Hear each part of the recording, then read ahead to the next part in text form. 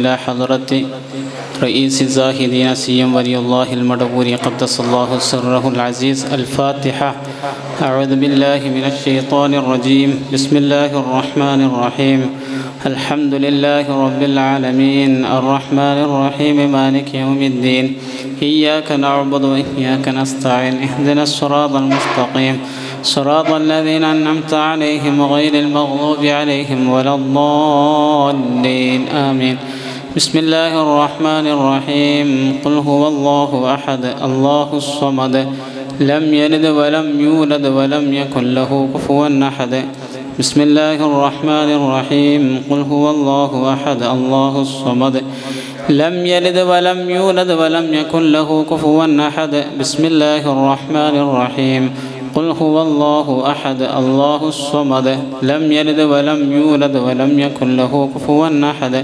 بسم الله الرحمن الرحيم قل أعوذ برب الفلق من شر ما خلق ومن شر غاسق إذا وقب ومن شر النفاثات في العقد من شر حاسد إذا حسد بسم الله الرحمن الرحيم قل أعوذ برب الناس ملك الناس إله الناس من شر الوسواس الخناس الذي يوسوس في صدور الناس من الجنة والناس പ്രാർത്ഥനയ്ക്ക് ഇവിടെ ബഹുമാനപ്പെട്ട ദാവ കോളേജ് പ്രിൻസിപ്പളും മർക്കസ് വാരി ഖത്തീബും ആയ ജാഫർ ഉസ്താദ് നേതൃത്വം നൽകുന്നു ക്ഷണിക്കുന്നു الحمد لله رب العالمين حمدا يوافي نعمه ويكافئ مزيدا يا ربنا لك الحمد كما ينبغي لجلال وجهك وعظيم سلطانك. سبحانك لا نحصي ثناء عليك. أنت كما أثنيت على نفسك فلك الحمد حتى ترضى. اللهم صل وسلم وبارك على رسولك سيدنا مصطفى محمد وعلى آله وأصحاب سيدنا ومولانا محمد. اللهم أوصل مثل ثواب ما قرأناه من القرآن العظيم. هذه هدية واصلة ورحمة نازلة وبركة شاملة. مقبولة منا إلى حضرة حبيبنا المصطفى محمد صلى الله عليه وسلم. وإلى حضرات جميع الأنبياء والمرسلين وأوليائك الكرام أجمعين. وإلى حضرات أنباتنا وأموات المسلمين. وإلى حضرات من ماتوا منا ومن أقاربنا يا ذا الجلال والإكرام. اللهم زد لهم شرفا على شرفهم وفضلا على فضلهم وكرامة تليق بعظيم شأنهم. اللهم انفعنا بعلومهم وأسرارهم وأنوارهم في الدارين. اللهم أمدنا بمددهم واحمنا بحمايتهم وانصرنا بنصرتهم وافض علينا وعلى كل من لنا من فيوضاتهم يا رب العالمين. اللهم بحقهم وبقربهم لديك بارك لنا في اجتماعنا هذا وفي مجلسنا هذا وفيما نحن فيه وفيما نطلبه وأنت غني عن التفسير والبيان وتعلم ما في ضمائرنا من حاجاتنا فاقضها كلها بيسر وسهولة يا ذا الجلال والإكرام. اللهم ألهمنا رشدنا واهدنا إلى صراطك المستقيم. واكفنا ما أهمنا من أمور دنيانا وأخرانا يا رب العالمين. ربنا تقبل منا إنك أنت السميع العليم وتب علينا إنك أنت التواب الرحيم. آمين برحمتك يا أرحم الراحمين. وصلى الله تعالى وسلم على خير خلقه سيدنا محمد وآله وصحبه أجمعين والحمد لله رب العالمين.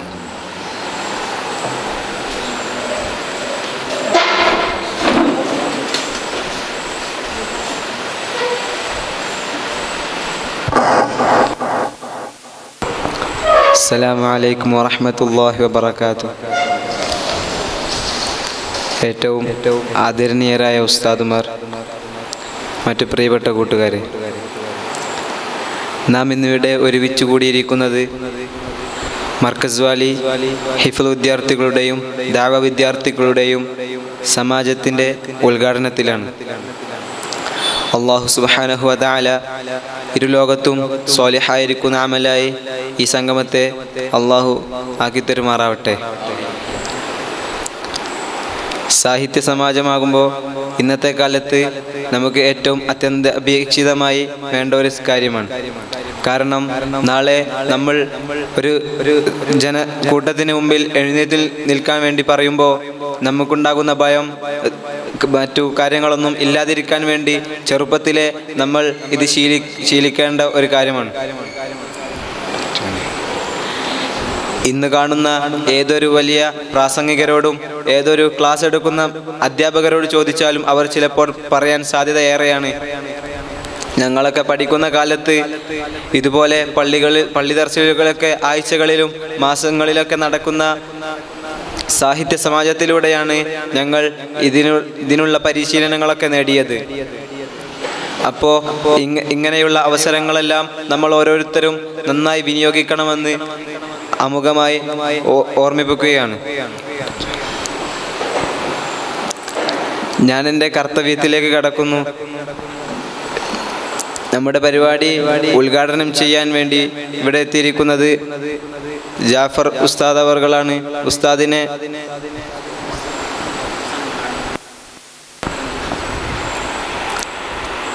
നമ്മുടെ പരിപാടി ഉദ്ഘാടനം ചെയ്യാൻ ഇവിടെ എത്തുന്നത് ഹാഫുൽ അബൂബക്കർ സഖാഫി പന്നൂർ ഉസ്താദ് അവറുകളാണ് ഉസ്താദത്തി ഉസ്താദിന്റെ അഭാവത്തിൽ ഉസ്താദിനെ ഈ പരിപാടിയിലേക്ക് സ്വാഗതം ചെയ്യുന്നു. അതുപോലെ തന്നെ നമ്മുടെ പരിപാടിയിലെ മുഖ്യ പ്രഭാഷണം നടത്താൻ ഇവിടെ എത്തിച്ചേരുന്നത് ഫൈസൽ എളേറ്റിൽ സേറവറുകളാണ് അദ്ദേഹത്തെയും അഭാവത്തിൽ ഈ പരിപാടിയിലേക്ക് സ്വാഗതം ചെയ്യുന്നു. അതുപോലെ തന്നെ വേദിയിലിരിക്കുന്ന മറ്റു എല്ലാ വിശിഷ്ട വ്യക്തിത്വങ്ങളെയും ഈ പരിപാടിയിലേക്ക് എത്തിച്ചേർന്ന എല്ലാ വിദ്യാർത്ഥി സുഹൃത്തുക്കളെയും ഒറ്റവാക്കിൽ സ്വാഗതം അറിയിച്ചുകൊണ്ട് ഞാൻ നിർത്തുന്നു. അസ്സലാമു അലൈക്കും വറഹമത്തല്ലാഹി വാത്തു അധ്യക്ഷനെ അധ്യക്ഷ സ്ഥാനത്തേക്ക് ക്ഷണിക്കും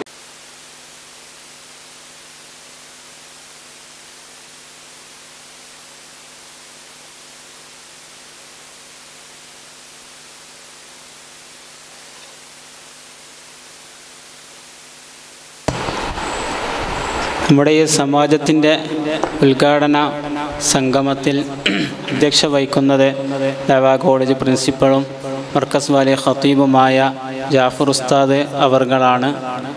നമ്മുടെ പരിപാടിയിൽ വിശിഷ്ടാതിഥിയായി അബ്ദുറഹ്മാൻ ആജി ഉണ്ട്. അള്ളാഹു സുബഹാനഹുവ താല ആഫിയത്തും ദീർഘായുസും കുടുംബത്തെ റാഹത്തും സന്തോഷവും നൽകി അനുഗ്രഹിക്കട്ടെ എന്ന് പ്രാർത്ഥന അറിയിക്കുന്നു അധ്യക്ഷ ഉസ്താ അധ്യക്ഷ പ്രസംഗം നടത്തുന്നതിന് വേണ്ടി ജാഫർ ഉസ്താദിനെ ക്ഷണിക്കുന്നു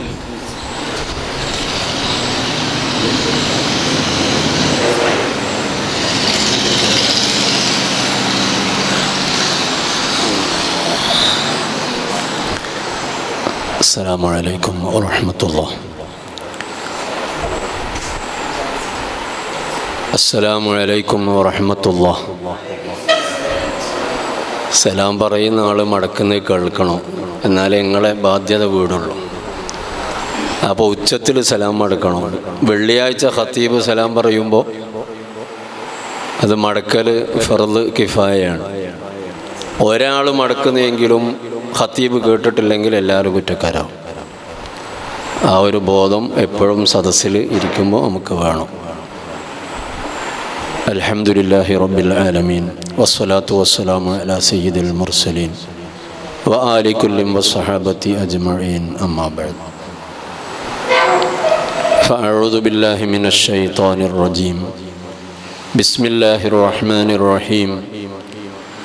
الرحمن علم القرآن خلق الإنسان علمه البيان. صدق الله العلي العظيم وصدق وبلغ رسوله النبي الكريم ونحن على ذلك من الشاهدين الشاكرين والحمد لله رب العالمين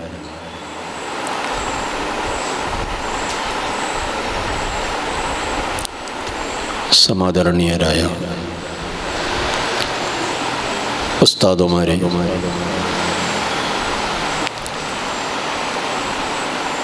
സ്നേഹനിധികളായ മുത്തല്ലിമുകളെ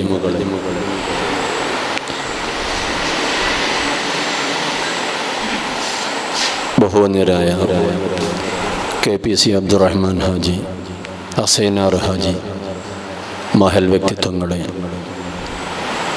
അള്ളാഹു സുബാനുഭവത്തായാല നമ്മുടെ ഈ ഒത്തുചേരൽ ആഹ്റത്തിൽ ഉപകാരം കിട്ടുന്ന സൽക്കർമ്മമായി സ്വീകരിക്കുമാറാകട്ടെ. ആമീൻ എന്ന് ആമുഖമായി ദുഴ ചെയ്തുകൊണ്ട്. അധ്യക്ഷ പ്രസംഗത്തിന്റെ മുമ്പ് ഉദ്ഘാടന ഭാഷണം വേണമായിരുന്നു. പക്ഷേ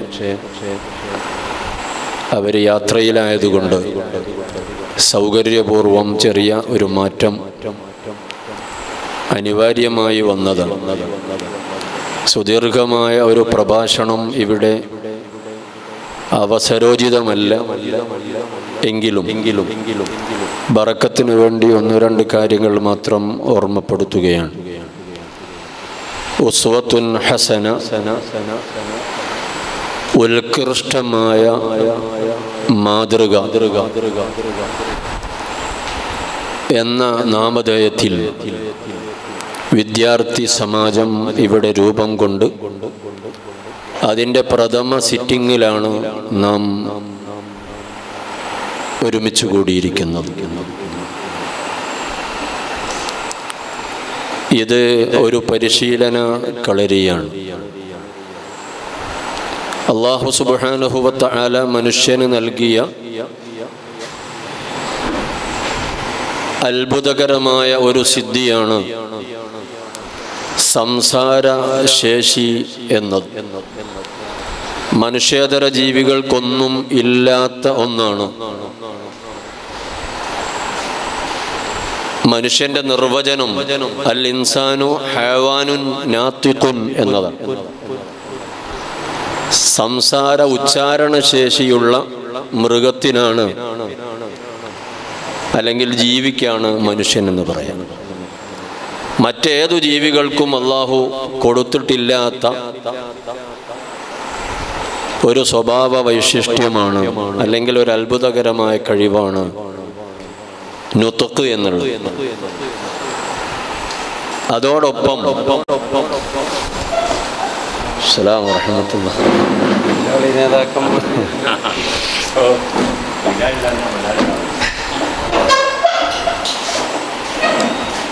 മനുഷ്യനെ അള്ളാഹു കൊടുത്ത മറ്റൊന്നാണ് അല്ലമഹുൽ ബയാൻ.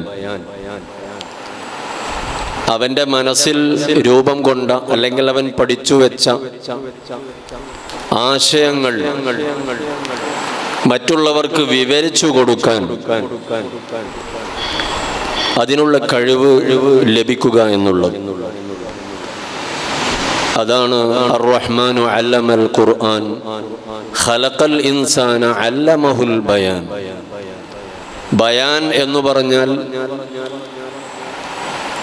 അതിൽ ആളുകൾ പല തട്ടിലാണ്. ആശയം വിവരിക്കുന്നതിൽ പല ശൈലിയും പലർക്കും സ്വീകരിക്കാൻ കഴിയും.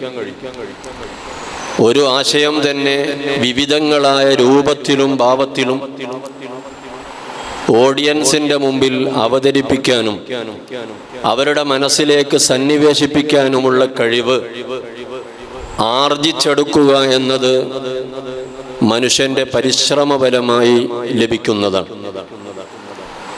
അപ്പോൾ ഈ ബയാനിന്റെ വിഷയത്തിൽ ആളുകൾക്ക് പല പല പല രീതിയിലുള്ള പുരോഗതി കൈവരിക്കാൻ കഴിയും.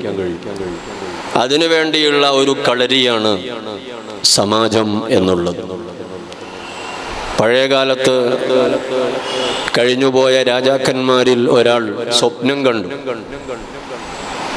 അയാളുടെ പല്ല് കൊഴിഞ്ഞു പോകുന്നതായി സ്വപ്നം കണ്ടപ്പോൾ അതിന്റെ വ്യാഖ്യാനം അറിയാൻ സ്വപ്ന വ്യാഖ്യാതാക്കളെ വിളിച്ചു വരുത്തി. അവരോട് ചോദിച്ചു ഓരോരുത്തരോടായി ചോദിച്ചു ഞാൻ ഈ കണ്ട സ്വപ്നത്തിന്റെ വ്യാഖ്യാനം എന്താണ്? അവർ ആദ്യത്തെ ആൾ മറുപടി പറഞ്ഞു നിങ്ങളുടെ സഹോദരങ്ങളൊക്കെ മരിച്ചു പോകും എന്നാണ് അതിന്റെ വ്യാഖ്യാനം. അത് അയാൾക്ക് ഇഷ്ടപ്പെട്ടില്ല. അന്നത്തെ രാജാക്കന്മാരുടെ സ്വഭാവം അതാണ്. ഇഷ്ടമില്ലാത്തത് പറഞ്ഞാൽ അവർ തുറുങ്കിലടക്കും. അയാളെ പിടിച്ച് കൽത്തുറുങ്കിലടച്ചു. രണ്ടാമത്തെ ആളോട് ചോദിച്ചു. അയാളും പറഞ്ഞു അതിന്റെ വ്യാഖ്യാനം അയാൾ പഠിച്ചതനുസരിച്ച് അതാണ്. അയാളെയും തുറുങ്കിലടച്ചു. അങ്ങനെ ഓരോരുത്തരെയും അങ്ങനെ അടച്ചുകൊണ്ടിരിക്കുകയാണ്. അവസാനം ഒരാൾ ബാക്കിയായി. അയാളോട് ചോദിച്ചു ഞാൻ ഈ കണ്ട സ്വപ്നത്തിന്റെ വ്യാഖ്യാനം എന്താണ്? അയാൾ ആ ഒരു ആശയം തന്നെ മറ്റൊരു രൂപത്തിൽ അവതരിപ്പിച്ചു. രാജാവേ നിങ്ങളുടെ സഹോദരങ്ങളൊക്കെ മരിച്ചുപോയാലും നിങ്ങൾ ബാക്കിയാകും എന്നാണ് അതിന്റെ വിവക്ഷ. അപ്പൊ രാജാവിന് വലിയ സന്തോഷമായി അയാൾക്ക് ഒരുപാട് സമ്മാനമൊക്കെ കൊടുത്തു. എന്നാണ് ചരിത്രം. അപ്പോ ഒരേ ആശയം സമ്മ സംഗതി അയാളുടെ സഹോദരങ്ങളൊക്കെ മരിച്ചു പോകും എന്നാണ് പറയേണ്ട ആശയമെങ്കിലും അതിന്റെ രൂപം ഒന്ന് മാറ്റിയപ്പോ കേട്ട ആൾക്ക് സമാധാനമായി സന്തോഷമായി. അങ്ങനെ ചിലപ്പോൾ നമുക്ക് നമ്മുടെ വൈകല്യങ്ങളൊക്കെ മറച്ചു വെക്കാൻ സാധിക്കും. സീബവൈഹി ഇമാമാണ് എന്ന എന്റെ ഓർമ്മ. വലിയ സാഹിത്യകാരനും പണ്ഡിതനും ഒക്കെയാണ് ഭാഷാ പണ്ഡിതനാണ് അയാൾക്ക് ഒരക്ഷരം പറയാൻ പ്രകൃതിപരമായി വൈകല്യമുണ്ടായിരുന്നു. പക്ഷേ മണിക്കൂറുകൾ നീണ്ട പ്രഭാഷണത്തിന്റെ ഇടയിൽ ആ അക്ഷരം ഉപയോഗിക്കാതെ അയാൾക്ക് പ്രസംഗിക്കാൻ കഴിയുമായിരുന്നു എന്ന് ചരിത്രത്തിൽ കേട്ടത് ഓർക്കുകയാണ്. അങ്ങനെ നമ്മുടെ കഴിവ് കൊണ്ട് പരിശീലനം കൊണ്ട് നമ്മുടെ ന്യൂനതകളെ മറച്ചുകൊണ്ട് നമ്മുടെ ദൗത്യം നിർവഹിക്കാനും അതുപോലെ ആളുകൾക്ക് ആശയങ്ങൾ ലളിതമായും അതുപോലെ സൗകര്യപൂർവവും മനസ്സിലാക്കാനുള്ള കഴിവ് മനസ്സിലാക്കി കൊടുക്കാനുള്ള കഴിവ് ആർജിച്ചെടുക്കാനും ഒക്കെ ഈ പ്രഭാഷണ പരിശീലനം പ്രബന്ധ പരിശീലനം അതുപോലെയുള്ള കവിത പരിശീലനം. അതിലൂടെയൊക്കെ പല പല കഴിവുകൾ ആർജിച്ചെടുക്കാൻ കഴിയും.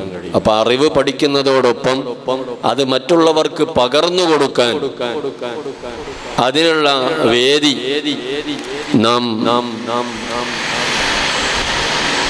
ലളിതമാക്കിയും എളുപ്പമാക്കിയും എടുക്കുക എന്നുള്ളത് ഇതിന്റെ ഒരു ലക്ഷ്യമാണ് എന്ന് സാന്ദർഭികമായി ഓർമ്മപ്പെടുത്തുകയാണ്. ഇത്തരം അവസരങ്ങൾ ആദ്യമൊക്കെ പ്രയാസവും വിമിഷ്ടവും ഒക്കെ തോന്നുമെങ്കിലും മരുന്ന് കുടിക്കുന്നത് പോലെ കഷായം കുടിക്കുന്നത് രോഗം സുഖപ്പെടണം എന്ന ആ ഒരു ലക്ഷ്യം മുന്നിൽ കണ്ടാണ് തൽക്കാലം ആളുടെ മുമ്പിൽ എഴുന്നേറ്റ് നിൽക്കുമ്പോൾ ഉണ്ടാകുന്ന വിറയലും പ്രയാസങ്ങളും ലാള്യ ജാള്യതയും അങ്ങനെ വാക്കുകൾ കുടുങ്ങിപ്പോയാൽ ഉണ്ടാകുന്ന പ്രയാസങ്ങളൊക്കെ കണ്ട് ചിലപ്പോൾ ആളുകൾ പിന്നോട്ട് പിന്നോട്ട് മാറി പോകും.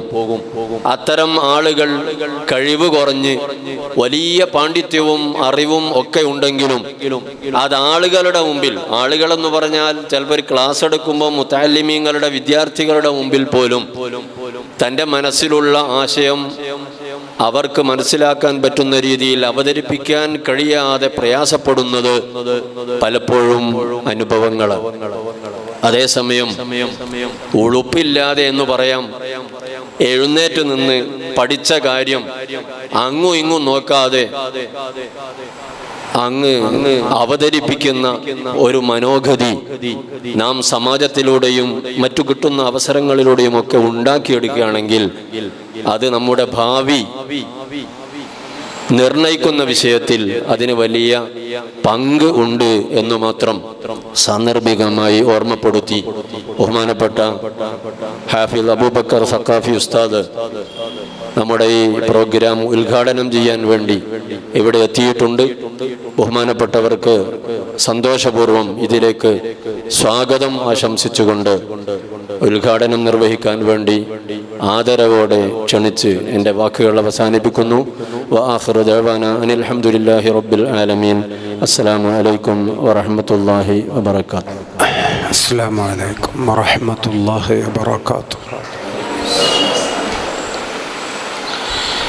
بسم الله الرحمن الرحيم الحمد لله رب العالمين وصلى الله على سيدنا محمد وعلى آله وصحبه أجمعين أما بعد ആദരണീയരായ സഹോദരങ്ങൾ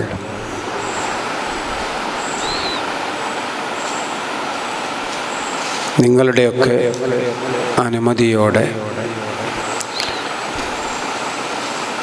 ഇതിന്റെ ഉദ്ഘാടനം ഇവിടെ നിർവഹിച്ചതായി അറിയിക്കുന്നു. ഇഖ്ലാസും തൗഫീഖുമുള്ള ദീനിന്റെ ഹിദുമത്തിന് അള്ളാഹു നമുക്ക് തൗഫീഖ് ഭാഗ്യം നൽകുമാറാകട്ടെ. അതിന് ഒരുപാട് അവസരങ്ങൾ നമുക്കെല്ലാം അള്ളാഹു എളുപ്പമാക്കി തരുമാറാകട്ടെ എന്ന് പ്രാർത്ഥിക്കുകയാണ്. ഒരു വേദിക്ക് മുന്നിൽ എഴുന്നേറ്റ് നിന്ന് എന്തെങ്കിലും പറയാൻ ചില ആളുകൾക്ക് ബുദ്ധിമുട്ടുണ്ടാവും. കാലുകൾ കൂട്ടിയിടുക്കുകയോ വല്ലാതെ രക്തസമ്മർദ്ദം കൂടുകയോ ഒക്കെ ചെയ്യും. അതിന്റെ പേരാണ് സഭാകമ്പം. കമ്പം എന്ന് പറഞ്ഞാൽ കമ്പനം എന്ന് പറഞ്ഞാൽ വിറക്കുക എന്നാണ്. സഭയിൽ എഴുന്നേറ്റ് സംസാരിക്കുമ്പോഴുണ്ടാകുന്ന നമ്മുടെ ഭാവപ്പകർച്ചകൾക്ക് പറയുന്ന പേരാണ്. അത് ഒഴിവാക്കിയെടുക്കാൻ പരിശീലിക്കുന്നതിലൂടെ നാം വലിയ ഒരു സാമ്രാജ്യം തന്നെ വെട്ടിപ്പിടിക്കുകയാണ് ചെയ്യുന്നത്. അതിനുള്ള തന്റെ ഇടം ഇത്തരം വേദികളിൽ നിന്ന് നാം കണ്ടെത്തണം. തന്റെ ഇടം എന്ന് പറഞ്ഞാൽ എന്താണ്? ഈ ഇരിക്കുന്ന ആൾ പറയും.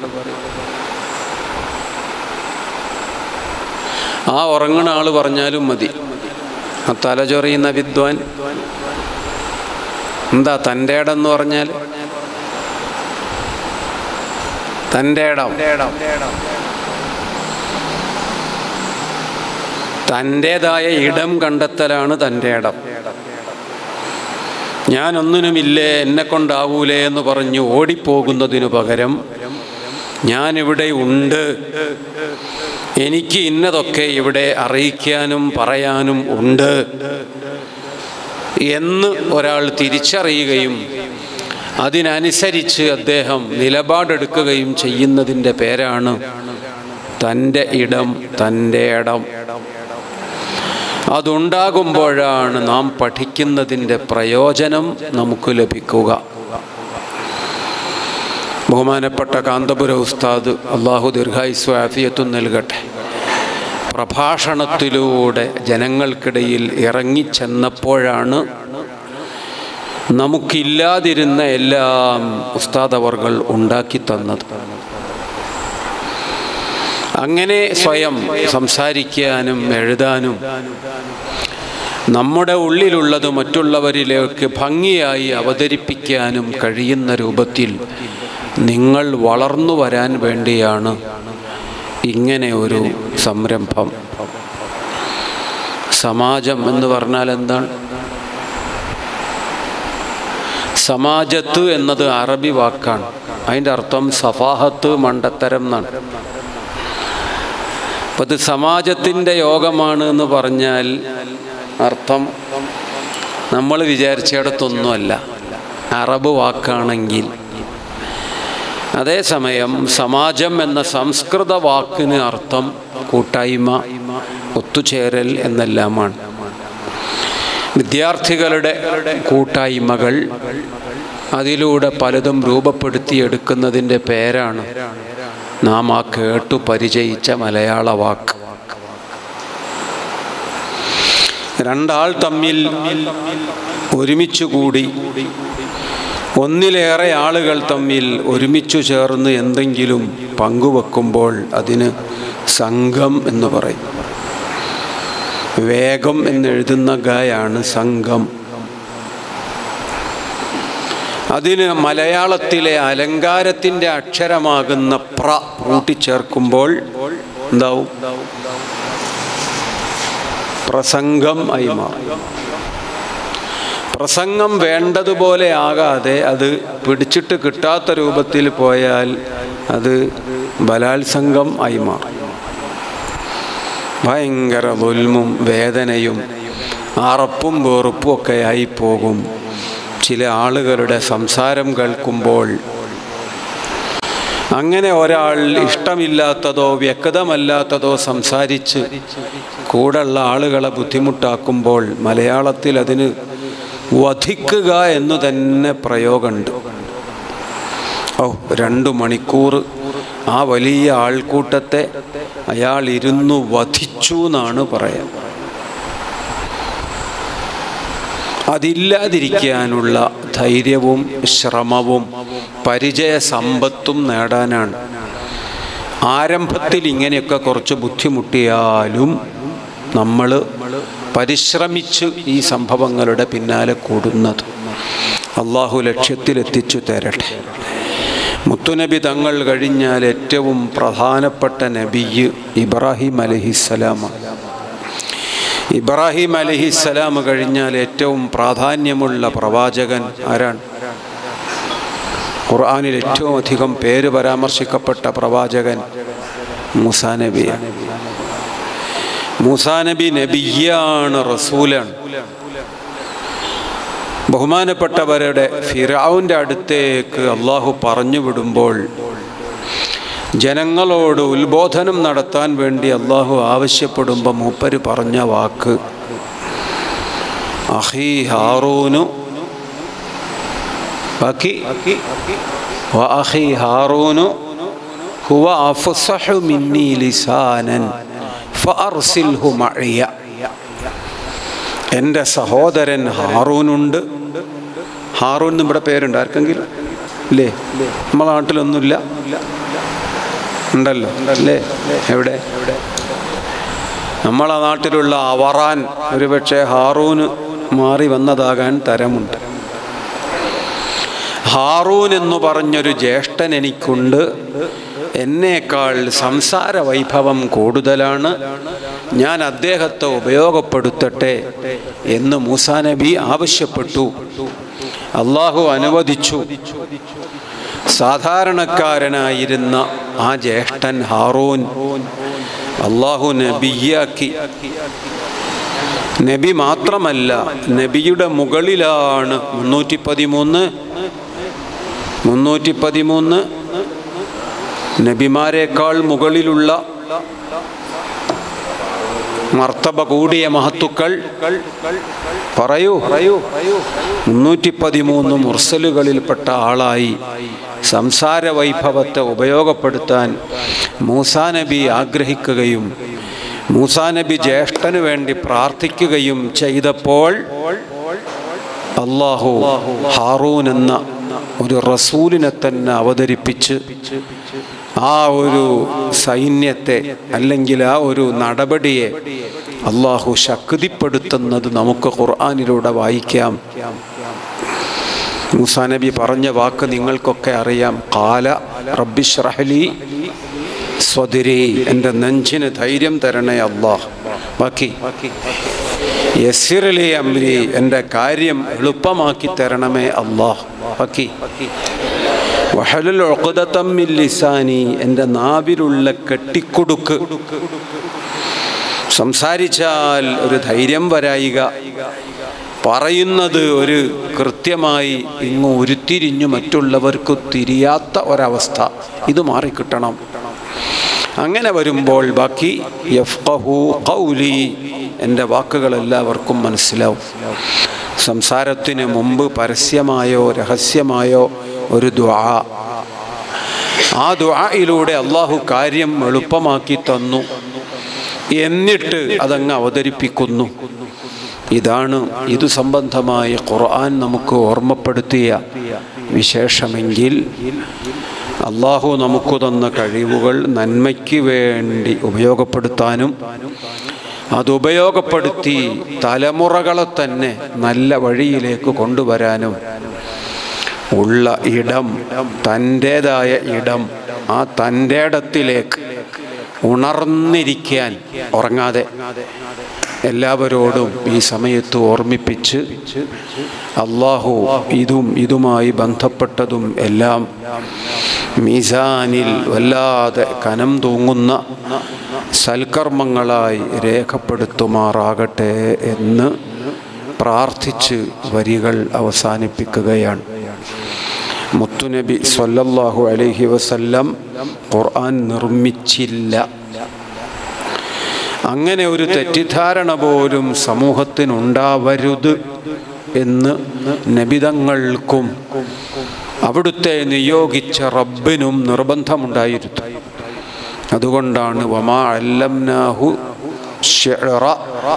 വമാ സ്വന്തമായി കവിത ചമയ്ക്കുകയും അതുമായി വ്യാപൃതനാവുകയും ചെയ്തില്ല. മുത്തുനബി തങ്ങൾ. അതേസമയം കവിതകളെ പ്രോത്സാഹിപ്പിച്ചു. അർത്ഥമുള്ള കവിതകൾക്ക് സമ്മാനം കൊടുത്തു. ആ കവിതകളെ അവിടുന്ന് ഇഷ്ടപ്പെട്ടു. മാർച്ചു ചെയ്യുമ്പോൾ സൈന്യം സുന്ദരമായ ഗാനങ്ങൾ ആലപിക്കുമായിരുന്നു.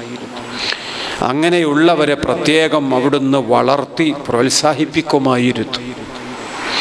ഇന്നും മൗലിദ് ചൊല്ലുമ്പോൾ അതിൽ ഗദ്യത്തെപ്പോലെ പദ്യവും ഉണ്ടാവും അധികം നബിതങ്ങൾ ഇഷ്ടപ്പെട്ടു.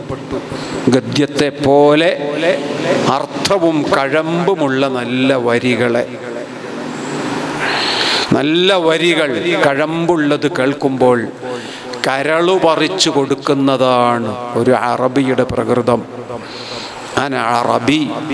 ഞാൻ ആ വർഗത്തിൽപ്പെട്ട ആളാണ് എന്ന് പ്രഖ്യാപിച്ചു സയ്യിദുന റസൂലുല്ലാഹി അതുകൊണ്ടെല്ലാമാണ് മാലകളിൽ മൗലിദുകളിൽ ഗദ്യത്തിന്റെ സാഹിത്യ വരികളേക്കാളേറെ കഴമ്പുള്ള വരികൾ അവിടുത്തെ പൊരുത്തവും ഇഷ്ടവും മാനിച്ച് നമുക്കെല്ലാം ചൊല്ലാൻ കൂടുതലായി ഉണ്ടാകുന്നത്.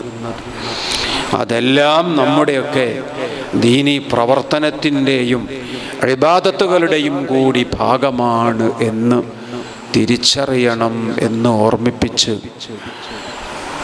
കുറച്ച് സമയം കൂടെ ഉത്സുകരായി ശ്രദ്ധാപൂർവം ഈ സദസ്സിനെ ഉപയോഗപ്പെടുത്താൻ നിങ്ങളോടെല്ലാവരോടും വിനയത്തോടെ അഭ്യർത്ഥിച്ച് വാക്കുകൾ നിർത്തി.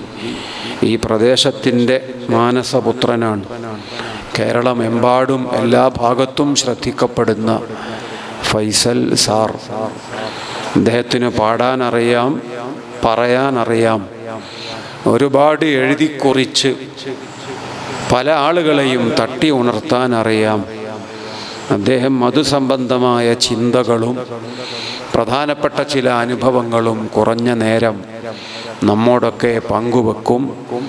അതെന്നും നമുക്ക് ഊർജമാകട്ടെ എന്ന് നിങ്ങൾക്കും അദ്ദേഹത്തിനും വേണ്ടി കൂടി ആശംസിച്ച് എന്റെ ഉദ്ഘാടന ഭാഷണം ഇവിടെ നിർത്തി.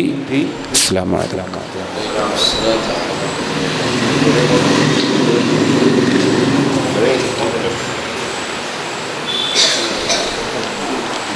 അടുത്തത് ഫൈസൽ സാറെ മുഖ്യ പ്രഭാഷണമാണ് അതിന്റെ മുമ്പ് ഒരു ഒരു സമ്മാന ഉദ്ഘാടനം നമ്മുടെ കഴിഞ്ഞ റബിയുൽ ലെവൽ അതിനോടനുബന്ധിച്ചായി മീലാദ് ഫെസ്റ്റ് നടത്തി. അതിന്റെ ഭാഗമായുള്ള സമ്മാന വിതരണം ത്തിന്റെ ഉദ്ഘാടനമാണ് ഈ സദസ്സിൽ വെച്ച് നടത്തുന്നത്. ജൂനിയർ ഹിഫ്ല് മത്സരത്തിന് ഫസ്റ്റും സെക്കൻഡിനുമുള്ള സമ്മാനമാണ് ആദ്യം വിതരണം ചെയ്യുന്നത്. വിതരണം ചെയ്യുന്നത് ബഹുമാനപ്പെട്ട മർക്കസ് ഹിഫ്ല് കോളേജ് മർക്കസിന്റെ ഓഫ് ക്യാമ്പസ് അടക്കമുള്ള ഹിഫ്ല് കോളേജുകളുടെ പ്രിൻസിപ്പളും വലിയ പണ്ഡിതനും വാഗ്മിയുമായ ബഹുമാനപ്പെട്ട ഹാഫിൽ അബൂബക്കർ സഖാഫി ഉസ്താദ് അവർകളാണ് വിതരണം ചെയ്യുന്നത്. ജൂനിയർ എഫ്ലിന് ഫസ്റ്റ് നേടിയത് ഫദ്ലുർ റഹ്മാൻ അണ്ടോണയും സെക്കൻഡ് നേടിയത് ഷുറഹ്ബീലും. ആദ്യമായി ഫദ്ലുർ റഹ്മാൻ അണ്ടോണ ഉസ്താദ് സമ്മാനം വിതരണം ചെയ്യുന്നു.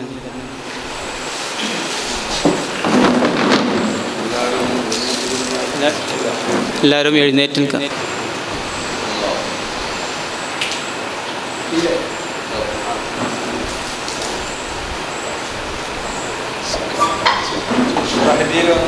സെക്കൻഡിന് ഷുറഹ്ബീൻ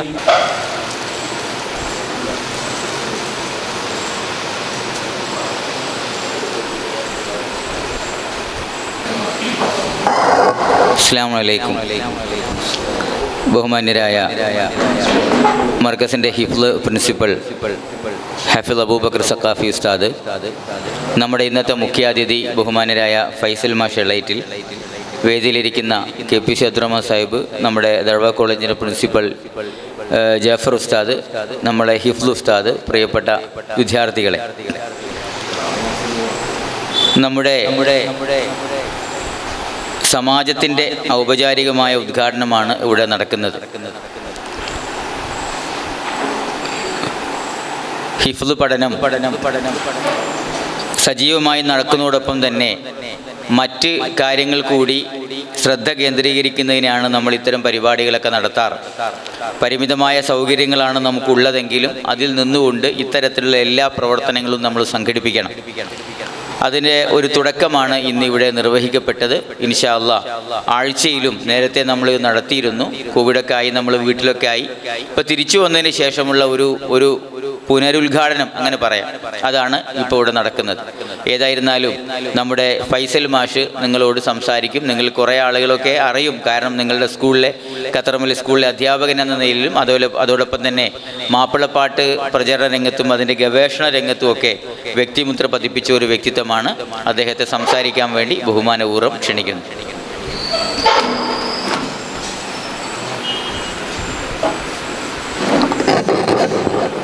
അസ്സാം വലൈക്കും പ്രിയപ്പെട്ട കൗസർ സക്കാഫി അതുപോലെ കബീർ മാഷ് K P C Abdurahiman Sahib Razi ഉസ്താദ് മറ്റു നിങ്ങളുടെ ഉസ്താദമാർ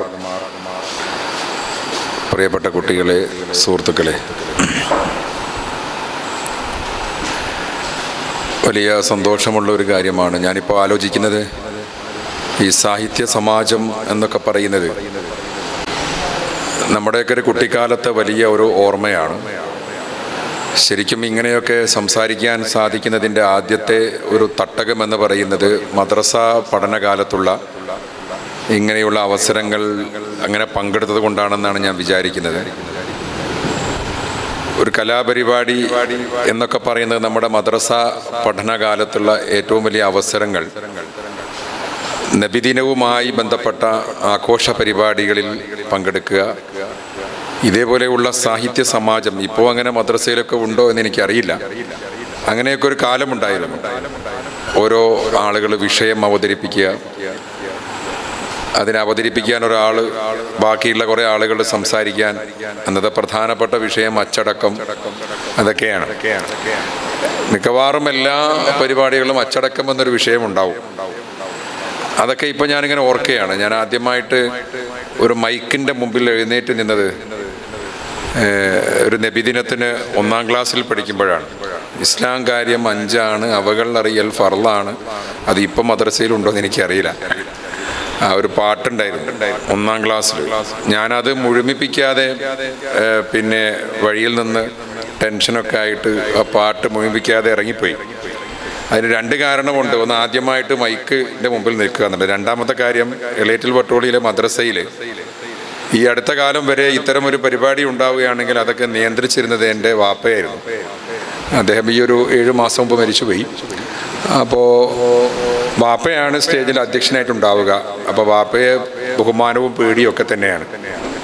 അപ്പോൾ അതിന്റെ മുമ്പിൽ വാപ്പയുടെ മുമ്പിൽ ഇത് തെറ്റിപ്പോയാൽ വീട്ടിൽ നിന്ന് അതിനെന്തെങ്കിലും ചീത്ത കേൾക്കുമോ എന്നുള്ളൊരു ടെൻഷനും. അതെല്ലാം കൂടി ബേജാറായിട്ട് ഞാൻ വഴിയിൽ വെച്ചിങ്ങനെ മാറിപ്പോയി. അതൊക്കെ ഞാനിപ്പോൾ ഓർക്കുകയാണ് നിങ്ങളെ കാണുമ്പോൾ സ്കൂളുകളിൽ സാഹിത്യ സമാജമൊക്കെ ഉണ്ടായിരുന്നു. ഇപ്പോൾ ഇങ്ങനെ ഒരു സിസ്റ്റം ഒന്നുമില്ല. പക്ഷേ അതിനൊക്കെ ഒരു മാറ്റം വരുന്ന രൂപത്തിൽ പുതിയ പുതിയ പാഠ്യപദ്ധതി സ്കൂളിലൊക്കെ വന്നപ്പോൾ എല്ലാ ദിവസവും ആഘോഷങ്ങളും ദിനാചരണങ്ങളുമാണ്. അപ്പോൾ അതിന്റെ അതിന് അനുയോജ്യമായ തരത്തിൽ നമ്മുടെ മതസ്ഥാപനങ്ങളും ഇതേപോലെയുള്ള പരിപാടികളിൽ സജീവമാണ്. നല്ല ഇടപെടലുകളൊക്കെ എല്ലാവരും നടത്തുന്നുണ്ട്. പല തരത്തിലുള്ള പരിപാടികൾ സംഘടിപ്പിക്കുന്നു. ഒരു നബിദിനം മാത്രമൊന്നുമല്ല ഇപ്പോൾ എത്രയോ പരിപാടികൾ നമ്മൾ സംഘടിപ്പിക്കുന്നു. എനിക്ക് നിങ്ങളോട് പറയാനുള്ളത് ഈ അവസരങ്ങളൊക്കെ കൃത്യമായിട്ട് ഉപയോഗിക്കണം എന്നുള്ളതാണ്. ഞാനൊന്നും അങ്ങനെ ഒരു പൂർണമായിട്ടത് ഉപയോഗിച്ച ആളാണെന്ന് പറയാൻ വയ്യ. കൃത്യമായിട്ട് ഇത് ഉപയോഗിക്കണം. ഇത് നമ്മുടെ ജീവിതത്തിൽ വലിയ ഒരു മാറ്റമുണ്ട്. ഞാൻ ഈ കബീർ മാഷെ പറ്റിയൊക്കെ ആലോചിക്കാറുണ്ട്. അദ്ദേഹമൊക്കെ ഈ വളരെ ചെറിയ കുട്ടിയായിരുന്ന കാലത്തെ ഈ പ്രസംഗത്തിൽ വലിയ പ്രാവീണ്യമുള്ള ആളാണ്.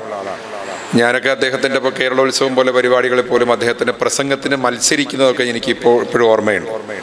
അതിലൂടെയാണ് അദ്ദേഹം വലിയൊരു പ്രഭാഷകനായി മാറിയത്.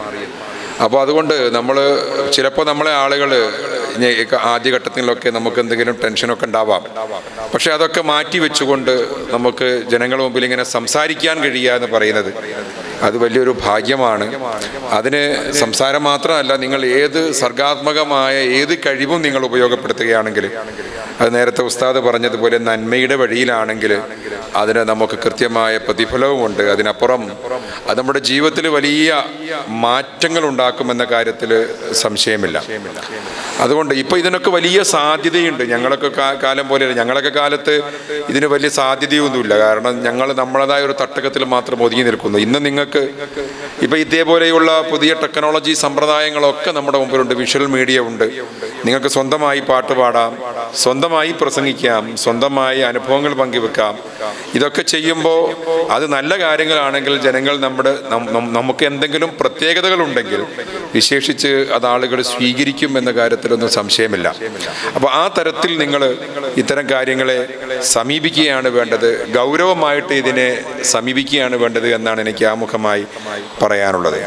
ഒരു പ്രത്യേക എല്ലാം കൊണ്ടും സവിശേഷമായ ഒരു സമൂഹമാണ് നമ്മൾ പ്രത്യേകിച്ച് മുസ്ലിങ്ങൾ എന്നല്ല കേരളത്തിലെ മുസ്ലിങ്ങൾ. അപ്പോൾ ആഗോളാടിസ്ഥാനത്തിൽ ഞാൻ ഇസ്ലാമിക സംസ്കാരത്തെക്കുറിച്ചും അല്ലെങ്കിൽ അതിന്റെ ചരിത്രത്തെക്കുറിച്ചും ഒന്നും പറയുന്നില്ല. നിങ്ങൾ പലപ്പോഴായിട്ട് കേൾക്കുന്നതാണ് ഇപ്പോഴും കേട്ടുകൊണ്ടേയിരിക്കുന്ന. കേരളത്തിലെ നമ്മുടെയൊക്കെ ഒരു പാരമ്പര്യം എന്ന് പറയുന്നത് ഇതിന്റെയൊക്കെ കൂടെ ലയിച്ചു ചേർന്ന് നമ്മൾ ആളുകളോടൊക്കെ നമ്മുടെ സംസ്കാരം എന്ന് പറഞ്ഞാൽ തന്നെ എല്ലാവരുമായിട്ട് കൂടിച്ചേർന്ന് കൊണ്ടൊരു ജീവിതമാണ് നമ്മുടെ ഇവിടെ ഉള്ളത് അതുകൊണ്ട് പലതും നമ്മളെ സ്വാധീനിച്ചിട്ടുണ്ട് പല കാര്യങ്ങളും. സ്വാധീനിക്കുക എന്ന് പറഞ്ഞാൽ അപ്പോൾ അപ്പോ ഇവിടേക്ക് മാലിക് ദീനാറും സംഘവും സത്യമതത്തിന്റെ സന്ദേശവുമായി വന്ന സമയത്ത് ഇവിടെയുള്ള ആളുകൾ അവരെ സ്വീകരിക്കുകയാണ് ചെയ്തത്. ഇത് വലിയ നൂറ്റാണ്ടുകൾക്ക് മുമ്പുള്ള സംഭവമാണ്. ഇവിടെ സ്വീകരിക്കുകയാണ് ചെയ്തത്. ഇന്നത്തെ കാലത്ത് നമ്മൾ ആ ഒരു സംഗതിയൊക്കെ ആലോചിക്കുമ്പോൾ വലിയ അത്ഭുതമാണ്. ഒരു പുതിയ സന്ദേശം ആളുകളുടെ അടുത്തേക്ക് സ്വീകരിക്കുക കൊണ്ടുപോയി വരുമ്പോൾ എത്രത്തോളം നമ്മൾ ആളുകൾ അത് സ്വീകരിക്കുന്നു എന്നുള്ളതാണ് ഇന്നത്തെ കാലത്ത്. ഇന്നത്തെ കാലത്ത് വലിയൊരു ചർച്ചയാവും. വലിയൊരു വിഷയമാവും. ഒരാളോട് സംസാരിച്ചാൽ ഒരാൾക്ക് ഇപ്പോൾ ജാതിയും മതവും നോക്കിയൊക്കെ എല്ലാം നിശ്ചയിക്കുന്ന ഒരു കാലഘട്ടമാണ് എന്നുള്ളത്. എന്നാൽ മുമ്പ് അങ്ങനെയല്ല. എല്ലാവരെയും സ്വീകരിച്ചു. അങ്ങനെയാണ് ഇവിടെ നമ്മുടെ മതം ഇവിടെ ഉണ്ടാകുന്നത് ഇസ്ലാം ഉണ്ടാകുന്നത് ക്രിസ്തുമതം ഉണ്ടാകുന്നത് എല്ലാവരെയും സ്വീകരിക്കുക ചെയ്തു. എല്ലാവരെയും അവിടെ ഇപ്പോൾ ഏറ്റവും വിശദമായ തെളിവ് പ്രകാരമുള്ള റിപ്പോർട്ടുകൾ പ്രകാരം പറയുന്നത് സ്ത്രീകൾ അവിടെ കൂട്ടത്തിലുണ്ടായിരുന്നില്ല. ഇങ്ങോട്ട് വന്നവരുടെ കൂട്ടത്തിൽ സ്ത്രീകളെയും മക്കളെയും പെങ്ങന്മാരെയും കുട്ടികളെയും കല്യാണമൊക്കെ അയച്ചു കൊടുത്ത് അങ്ങനെ ഇവിടെ ഒരു ഒരു നമ്മളൊരു പുതിയ സംസ്കാരത്തിന് രൂപം കൊടുത്തു ഒരു പുതിയ ജീവിത രീതിക്ക് അറേബ്യയിൽ നിന്നാണ് ഇവർ വരുന്നത് മാലിക്കദീനാറും സംഘവും. പക്ഷേ ഇവിടെ നമ്മൾ ലയിച്ചു ചേർന്ന് ജീവിക്കുകയാണ്. അതുകൊണ്ടാണ് നമ്മൾക്ക് മാത്രമുള്ള ചില പ്രത്യേകതകൾ. നമുക്ക് മാത്രം ഇതിനെക്കുറിച്ച് പണ്ടൊരു പാട്ടുണ്ട്. ഈ ഒരു മാലിക് ദിനാറും സംഘവും വന്നതിനെക്കുറിച്ച് പാരിൽ ഈ ശീലാമോദിത്തുള്ള കാലത്ത് പാരന്മാർ ഏബിയയിൽ കണ്ട വെളിച്ചത്തെ ചേരമാൻ തമ്പൂരാൻ തേടിപ്പോയി മക്കത്തെ അന്നേ കപ്പലുകൾ വന്നേ. ഇസ്ലാമിൻ ജ്യോതി മത നീതി അവർ ഓതി ഖുർആനും എത്തി കൊടുങ്ങല്ലൂരും പിന്നെ മറ്റുള്ള പ്രദേശത്തിലും അങ്ങനെ നാടിൽ നമ്മളിവിടെ വളരുകയാണ്. ഇവിടെ പുതിയ ഒരു ഒരു ഒരു ജീവിത രീതിക്ക് തുടക്കം കുറിക്കുകയാണ്. നമ്മളെല്ലാം സ്വന്തമായി ഉണ്ടാക്കാൻ ശ്രമിച്ചവരാണ്. സ്വന്തമായി നമുക്കൊരു വസ്ത്രധാരണ രീതി നമുക്കൊരു ഭക്ഷണ രീതി. ഇപ്പൊ നിങ്ങളിട്ടിരിക്കുന്ന വസ്ത്രവും ഞാൻ ഇട്ടിരിക്കുന്ന വസ്ത്രവും ഒന്നും പഴയ കാലത്തെ കേരളത്തിലെ മാപ്പിള പാരമ്പര്യത്തിന്റെ വേഷവിധാനങ്ങളൊന്നുമല്ല. പണ്ട് കാലത്ത് ഇങ്ങനെയൊന്നും ഉണ്ടായിരുന്നില്ല. ഇതൊക്കെ നമ്മൾ പിന്നീട് നമ്മൾ പല നാടുകളിൽ സഞ്ചരിക്കുന്നു പല കാര്യങ്ങൾ തിരിച്ചറിയുന്നു അതിലൂടെ ഉണ്ടാക്കിയെടുക്കുന്ന ഒരു കാര്യമാണ്. അങ്ങനെ ഇപ്പോഴും നമ്മുടെ ഭക്ഷണവും അങ്ങനെ തന്നെയാണ്. നമ്മുടെ പുതിയ ഭക്ഷണ രീതിയൊന്നും പണ്ടുണ്ടായിരുന്നില്ല. ഇവിടുത്തെ കാലാവസ്ഥക്ക് അനുയോജ്യമായ രീതിയിൽ ഇവിടുത്തെ ജനങ്ങളുമായി ലയിച്ചു ചേരുമ്പോൾ ഇവിടുത്തെ സാഹചര്യങ്ങൾക്ക് അനുസൃതമായ ഒരു ജീവിതം നമ്മൾ കെട്ടിപ്പടുത്തു. ഇപ്പം ഈ നബിദിന ഘോഷയാത്ര ശരിക്കും ലോകത്തെവിടെ ചില ആളുകൾ പറയും അവിടെ ഉണ്ടോ ഇവിടെ ഉണ്ടോ എന്നൊക്കെ ചോദിക്കും. ശരിക്കും നമ്മുടെ നാട്ടിലെ ആഘോഷത്തിന് എന്താണ്? ഘോഷയാത്രകളാണ്. അതിന്റെ വഴിയിൽ നമ്മൾ സഞ്ചരിച്ചു. അതിനെക്കുറിച്ച് മറ്റൊന്നും നമ്മൾ ചിന്തിക്കേണ്ടതില്ല എന്നാണ് എന്റെ അഭിപ്രായം. ആ തരത്തിൽ നമ്മളിവിടെ ജീവിച്ചു കൊണ്ടേയിരിക്കുകയാണ് അതിന് നമുക്ക് കലയുണ്ട് സാഹിത്യമുണ്ട് ആത്മീയപരമായ ജീവിതമുണ്ട് എല്ലാമുണ്ട് കുടുംബജീവിതമുണ്ട് സാമൂഹ്യ ജീവിതമുണ്ട് അങ്ങനെ നമ്മൾ മുന്നോട്ട് പോവുകയാണ്. ഇതിൽ ആദ്യ കാലഘട്ടത്തിൽ നമ്മൾ ചെയ്തൊരു കാര്യം.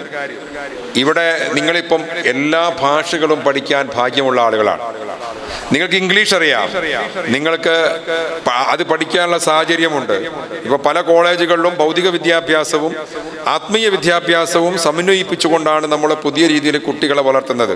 പണ്ട് ഇഫുദുൽ ഖുർആൻ കോളേജ് ആണെങ്കിൽ അവിടെ വേറെ ഒന്നും പഠിപ്പിക്കില്ലായിരുന്നു. ഖുർആൻ മാത്രമായിരുന്നു ഞങ്ങളുടെ കൂടെയൊക്കെ പഠിച്ച കാലത്ത് ചില ആളുകൾ ഇഫുൽ ഖുർആൻ കോളേജിൽ പഠിക്കാൻ പോയിട്ടുണ്ട്. അവർ സ്കൂളായിട്ട് ഒരു ബന്ധവും അവർക്കില്ല. പിന്നീട് അവർ എസ് എസ് എൽ സി ഒക്കെ കഴിയുമ്പോൾ ഖുർആൻ മനഃപ്പാടമായി വീണ്ടും എസ് എൽ സി എഴുതണം. എന്നാൽ ഇപ്പോൾ നിങ്ങളുടെ കാലം അങ്ങനെയല്ല. നിങ്ങൾ സ്കൂൾ വിദ്യാഭ്യാസവും ഇതും സമന്വയിച്ചുകൊണ്ടാണ് മുന്നോട്ട് പോകുന്നത്. ചില ദഴവാ കോളേജുകളിലൊക്കെ കോളേജ് ഡിഗ്രി വരെ പഠിക്കുന്നുണ്ട്. അതിനിടയിൽ രണ്ടും കൂടി ആത്മീയ വിദ്യാഭ്യാസവും ഭൗതിക വിദ്യാഭ്യാസവും പൂർണമായി ഒരുമിച്ച് മുന്നോട്ട് കൊണ്ടുപോകുക എന്നുള്ള രീതിയാണ്. ഇപ്പം ഞാൻ പറഞ്ഞു വന്നത് അക്കാലത്ത് നമുക്ക് മലയാള ഭാഷ പോലും പഠിക്കാനുള്ള സ്വാതന്ത്ര്യം ഉണ്ടായിരുന്നില്ല. സമൂഹത്തിലെ ഉന്നത തലങ്ങളിൽ നിൽക്കുന്നവർ മാത്രം അത് ചിലപ്പോൾ ജന്മിമാരാവാം പണക്കാരാവാം അല്ലെങ്കിൽ ജാതി കൊണ്ട് ഉന്നത തലങ്ങളിലുള്ളവരാവാം. അവർക്ക് മാത്രമേ മലയാളമൊക്കെ പഠിക്കാനുള്ള സ്വാതന്ത്ര്യം ഉണ്ടായിരുന്നുള്ളൂ. സാധാരണക്കാരന് കുടിയാന്മാർക്ക് അധകൃത വർഗത്തിന് ചില നമ്മുടെയൊക്കെ നേതാക്കന്മാർ ആത്മീയ ചൈതന്യമുള്ള നേതാക്കന്മാരൊക്കെ നിന്നത് ഈ സാധാരണക്കാരുടെ കൂടെയാണ്. മമ്പുറ തങ്ങളുടെ ചരിത്രമൊക്കെ നമുക്ക് അറിഞ്ഞാൽ മനസ്സിലാകാൻ സാധിക്കും. അവർ സാധാരണക്കാരുടെ കൂടെയാണ്. ആ തലത്തിൽ ജാതിയുടെ ഉച്ചനീചിത്വങ്ങളില്ലാത്ത ഒരു സത്യസന്ദേശത്തിന്റെ വക്താക്കളായി മാറുമ്പോൾ നമുക്ക് മലയാള ഭാഷ പഠിക്കാനുള്ള സ്വാതന്ത്ര്യം ഉണ്ടായിരുന്നില്ല. ഇംഗ്ലീഷിന്റെ കാര്യം തീരെ പറയേണ്ടതില്ല. ആ സമയത്ത് നമ്മൾ എന്ത് ചെയ്യുന്നറിയോ? സ്വന്തമായ ഒരു ഭാഷയുണ്ടാക്കി. അതാണ് നിങ്ങളൊക്കെ മദ്രസയിൽ ഇപ്പൊ പഠിക്കുന്ന അറബി മലയാളം. പഠിച്ചില്ലേ? അറബി മലയാളം. അറബി മലയാളം എന്ന് പറഞ്ഞാൽ വളരെ സിമ്പിളാണ് നമുക്ക് ഇംഗ്ലീഷിൽ ഇപ്പോൾ മലയാളം എഴുതാറുണ്ട്. എന്തുകൊണ്ടാണ് ഇങ്ങനെ അറബി മലയാളം ഉണ്ടാക്കിയത്? അത് വളരെ എളുപ്പമാണ്. നിങ്ങൾ ഇപ്പം മദ്രസയിൽ പഠിച്ച കുട്ടികൾക്കൊക്കെ അല്ല ഞങ്ങളൊക്കെ അങ്ങനെ പഠിച്ചവരാ. ഇതൊന്നും ഇല്ലാത്ത നാടുകളും ഉണ്ട് കേട്ടോ അതും ഞാൻ ചില സ്ഥലത്ത് സംസാരിക്കുമ്പോൾ അവർ പറയും അറബി മലയാളം എന്ന് പറഞ്ഞാൽ എന്താന്ന് ചോദിക്കും. അതില്ലാത്ത പ്രദേശങ്ങളൊക്കെ ഉണ്ട് കേരളത്തിൽ ചില അപൂർവ സ്ഥലങ്ങൾ. അപ്പോൾ അത് സുന്നി മദ്രസയിൽ പഠിക്കാത്ത ആളുകളുണ്ടാവും. അവർ വേറെ തരത്തിൽ ചിലപ്പോൾ സ്കൂളുകളിൽ നിന്നൊക്കെ ആയിരിക്കും മതവിദ്യാഭ്യാസം പഠിച്ചത്. അതുകൊണ്ടുള്ള ചില വിഷയങ്ങളുള്ള പ്രദേശങ്ങളൊക്കെ കേരളത്തിലുണ്ട്. അപ്പോൾ അറബി ലിപിയിൽ മലയാളം എഴുതുക അതെന്താണ്? അറബി ലിപിയിലെ മലയാളം എഴുതേണ്ട ഒരു ആവശ്യം. കാരണം നമുക്ക് ഖുർആന്റെ ഭാഷയായതുകൊണ്ട് എല്ലാവർക്കും അറബി അറിയാം. അതിന് അതിലൂടെ മലയാളം ഉണ്ടാക്കി. മലയാളത്തിൽ ഇല്ലാത്ത അറബിയിലുള്ള ഒരു അക്ഷരം പറയാൻ പറ്റുമോ മലയാളത്തിൽ ഇല്ലാത്ത അറബിയിൽ മാത്രമുള്ള ഒരു അക്ഷരം. മലയാളത്തിലൊക്കെ ലയാണ് തിരിച്ചുകൊണ്ട്. അറബിയിലില്ലാത്ത മലയാളത്തിലുള്ള ഒരു അക്ഷരം ഏ അറബിയിൽ മാത്രമേ ഉള്ളൂ ഏത്? പറഞ്ഞോ? പറഞ്ഞോ ഏതെങ്കിലും ഒന്ന് പറ. ഗ. അതുപോലെ ഴ. വാഴയുടെ ഴ.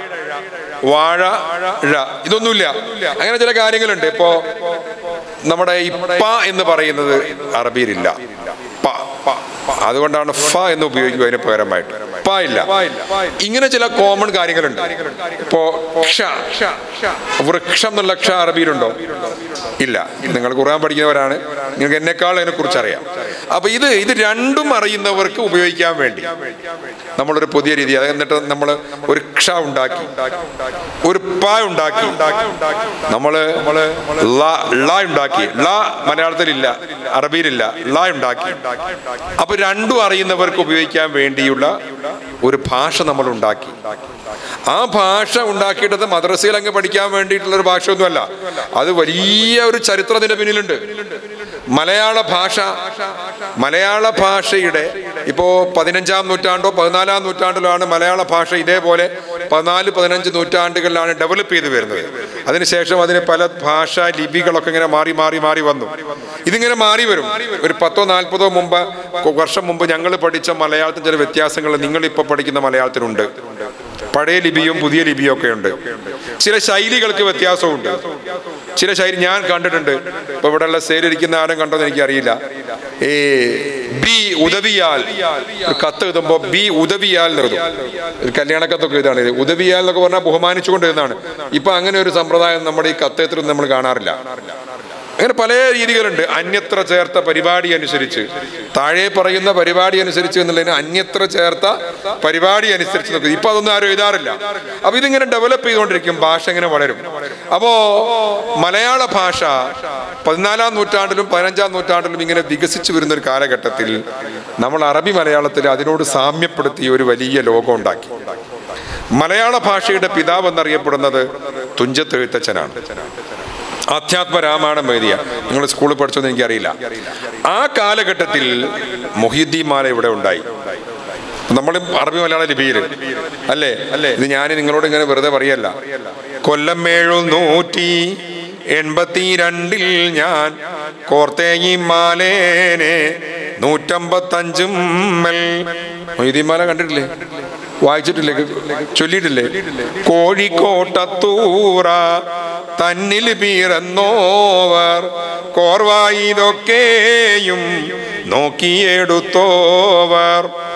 അതിൽ നോക്കിയാൽ കാണാം. കൊല്ലവർഷം എഴുന്നൂറ്റി എൺപത്തിരണ്ട് നിങ്ങൾ ഈ കലണ്ടർ കലണ്ടർ ശ്രദ്ധിക്കാറുണ്ടോ? കലണ്ടറിൽ നോക്കിയാൽ കൊല്ലവർഷം എന്ന് കാണാം. ഇപ്പൊ വൃശ്ചിക മാസമായിരിക്കുന്നു ഞാൻ വിചാരിക്കുന്നത്. എനിക്ക് അത്ര അതിനെക്കുറിച്ച് ഞാൻ വൃശ്ചിക മാസമായിരിക്കണം. ഇപ്പൊ എത്ര ഇന്ന് പതിനൊന്നായില്ലേ? വൃശ്ചികം കഴിയാറായെന്ന് എനിക്ക് തോന്നുന്നു. വൃശ്ചിക മാസം. ഈ വൃശ്ചിക മാസം എന്നുള്ളത് മലയാള മാസമാണ്. നിങ്ങൾ ഇപ്പൊ കലണ്ടർ എടുത്ത് നോക്കിയിട്ട് ആയിരത്തി ഒരുന്നൂറ്റി സംതിങ് എന്തോ ഉണ്ടാവും. കലണ്ടറിൽ മലയാള വർഷം എന്ന് കാണാം. അതിനോട് എണ്ണൂറ്റി ഇരുപത്തിനാലോ എണ്ണൂറ്റി ഇരുപത്തഞ്ചോ കൂട്ടിയാൽ രണ്ടായിരത്തി ഇരുപത്തിരണ്ട് എന്ന് കിട്ടും. രണ്ടായിരത്തി ഇരുപത്തിരണ്ട് എന്ന് കിട്ടും. അപ്പോ കൊല്ലം എഴുന്നൂറ്റി എൺപത്തിരണ്ടിൽ ഞാൻ എഴുന്നൂറ്റി എൺപത്തിരണ്ടിനോട് എണ്ണൂറ്റി ഇരുപത്തിനാലോ എണ്ണൂറ്റി ഇരുപത്തി അഞ്ചോ കൂട്ടിയാൽ എണ്ണൂറ്റി ഇരുപത്തി അഞ്ചാണ് ഇവിടെ കൂട്ടുന്നത്. അപ്പൊ ആയിരത്തി അറുന്നൂറ്റി ഏഴ് എന്ന് കിട്ടും. അതാണ് ആയിരത്തി അറുന്നൂറ്റി ഏഴിലാണ് ആദ്യത്തെ ഒരു ഒരു ഒരു പദ്യ രീതിയിലുള്ള കാവ്യം നമ്മുടെ മുമ്പിൽ അറബി മലയാളത്തിൽ ഉണ്ടായത് എന്ന് പറയുന്നത്. മലയാള ഭാഷയുടെ തുടക്കാലത്തിന്റെ ഉണ്ട് അല്ലാണ്ട് നമ്മളിവിടെ ഇപ്പോൾ സമസ്തയുടെ ബുക്ക് നമ്മുടെ സുന്നി വിദ്യാഭ്യാസ ബോർഡിന്റെയോ അല്ലെങ്കിൽ വിദ്യാഭ്യാസ ബോർഡിന്റെയോ ഒക്കെ പുസ്തകം ഉണ്ടാകുമ്പോൾ ഉണ്ടാക്കിയൊന്നും അല്ലത്. നൂറ്റാണ്ടുകൾക്ക് മുമ്പുണ്ട്. ഒരുപാട് ഇത് ഇതേപോലെയുള്ള മാലപ്പാട്ടുകൾ അക്കാലത്തുണ്ടായി. റിഫായി മാല നഫീസത്ത് മാല ഇതേക്കുറിച്ചൊക്കെ നിങ്ങൾ കേട്ടിട്ടുണ്ടാവൂലേ വിസ്മിയും ഹംദും സലാത്തും മാല ഞാൻ തുടങ്ങിയിടുന്ന്. കേട്ടിട്ടില്ലേ? ഇതൊക്കെ നിങ്ങളതൊക്കെ ഇങ്ങനെ അതിന്റെ എവിടെയെങ്കിലുമൊക്കെ അഭിജതക്കത്തിൽ ഈ അഭിജതക്കൊക്കെ ഇവർക്ക് അറിയുമെന്ന് എനിക്കറിയില്ല. ഉസ്താദന്മാർക്ക് എന്തായാലും അറിയാം അഭിജത് എന്നൊക്കെ പറഞ്ഞാൽ അതിൽ ഈ അക്കത്തിലൊക്കെയാണ് നമ്മൾ വർഷം കണക്കൂട്ടുക. വർഷം കണക്കൂട്ടും. അതിൽ എവിടെയെങ്കിലും ഉണ്ടാവും. ഇങ്ങനെ എല്ലാത്തിലും ഇല്ലെങ്കിലും ഉണ്ടാവും. അക്കക്കെട്ട് എന്നൊക്കെ പറയും. ഇത് കൃത്യമായ വർഷം കണക്കാക്കി കൃത്യമായി ആരെഴുതി എന്ന് പറഞ്ഞുകൊണ്ടുള്ള ഒരു സമ്പ്രദായം. ഇപ്പൊ ആളുകൾ ഈ ഗസലിനെ കുറിച്ചൊക്കെ പറയുമ്പോൾ ഞാനിങ്ങനെ ശ്രദ്ധിക്കും. ചില മഹാരഥന്മാരായ ആളുകൾ ഗസലുകളെ കുറിച്ച് കേട്ടു ഇപ്പൊ ഗസൽ ഗസൽ എന്നൊക്കെ പറയില്ലേ? കേട്ടില്ലേ? യൂട്യൂബ് ഇപ്പോൾ ഒരുപാട് ആളുകൾ ഇപ്പോൾ ഒരു ഒരു ഒരു തരംഗമായി ഇപ്പോൾ റാസ ബീഗം പോലെയുള്ള ആളുകൾ ഈ ഗസലിന്റെ ഒരു തരംഗമുണ്ട് ഇന്ത്യയിൽ കേരളത്തിൽ വിശേഷിച്ച് പണ്ടൊന്നും മലയാളത്തിൽ എങ്ങനെ ഗസലുണ്ടായിരുന്നു ഇപ്പൊ മുംബൈ മരിച്ചുപോയ ഒരാളാണ്. അവരൊക്കെ ഗസൽ പാടുന്ന ആളുകളാണ്. ഈ ഗസലുകളെ കുറിച്ചൊക്കെ ചില ആളുകൾ ഇങ്ങനെ പറയും. ഗസലുകളുടെ സവിശേഷത എന്ന് പറഞ്ഞാൽ അത് ഈ ഗസലുകളുടെ കവിതയുടെ ഇടയിൽ അതിന്റെ രചയിതാവിന്റെ പേരുണ്ട്. അത് എത്ര വരിയാണെന്ന് പറയാറുണ്ട്. അതാണ് ഗസലുകളുടെ പ്രത്യേകത എന്നറിയും. അപ്പോൾ എനിക്ക് ചിരി വരും. കാരണം അത് മാപ്പിളപ്പാട്ടിലും മാലപ്പാട്ടിലും ഇത് പണ്ടേ ഉള്ളതാ. നമ്മുടെ മാലപ്പാട്ടിൽ ഇത് പണ്ടേ ഉള്ളതാ. അങ്ങനെ സമ്പ്രദായം നമ്മൾ മുമ്പേ ഉണ്ടാക്കിയെടുത്തിട്ടുണ്ട്. ആ ഒരു സമ്പ്രദായത്തിന് വലിയ മാതൃക നമ്മുടെ കേരളത്തിലെ ഒരു മുസ്ലിം പാരമ്പര്യം ഈ കാര്യത്തിൽ ഉണ്ടായിട്ടുണ്ട്. അങ്ങനെ നമ്മൾ ഇങ്ങനെ നമ്മുടെ കലയും സാഹിത്യവും ഇങ്ങനെ കൊണ്ടുപോവുകയാണ്. അതിൽ മനുഷ്യന്റെ ജീവിതത്തെ ബാധിക്കുന്ന മുഴുവൻ ഭാവങ്ങളെയും. അതുകൊണ്ടാണ് ഇതിപ്പോൾ നിലനിൽക്കുന്നത്. നിങ്ങൾ ഇപ്പോൾ നിങ്ങളിവിടെ ഈ പ്രസംഗത്തിന് മുമ്പ് ചിലപ്പോൾ ഇവിടെ പാട്ട് റെക്കോർഡ് വെച്ചിട്ടുണ്ടാവും. അതൊരു താളമുണ്ട് ഒരു പാട്ടുണ്ട്. മനുഷ്യന്റെ ജീവിതവുമായി ബന്ധപ്പെട്ട ഒരു കാര്യമാണ് നമുക്ക് ഇഷ്ടമാണ് പാട്ട്. പാട്ട് ഇഷ്ടമില്ലാത്ത ആരെങ്കിലും ഇവിടെ ഉണ്ടോ? പാട്ട് എല്ലാവർക്കും പാടാൻ കഴിയില്ല. പാട്ട് എല്ലാവർക്കും എഴുതാൻ കഴിയില്ല. എനിക്കത് രണ്ടും കഴിയില്ല. ഞാൻ ജീവിതത്തിൽ ഒരു വരി പാട്ട് എഴുതിയിട്ടില്ല. ഒരു പാട്ട് സംഗീതം ചെയ്തിട്ടുമില്ല. പക്ഷേ പാട്ട് കേൾക്കാൻ നിങ്ങൾക്ക് എല്ലാവർക്കും ഇഷ്ടമല്ലേ? അങ്ങനെ ആർക്കെങ്കിലും ഇഷ്ടമില്ലാത്ത ഒരാളുണ്ടെങ്കിൽ നമുക്ക് പെട്ടെന്ന് അവിടെ ഡോക്ടറെ കാണിക്കണം.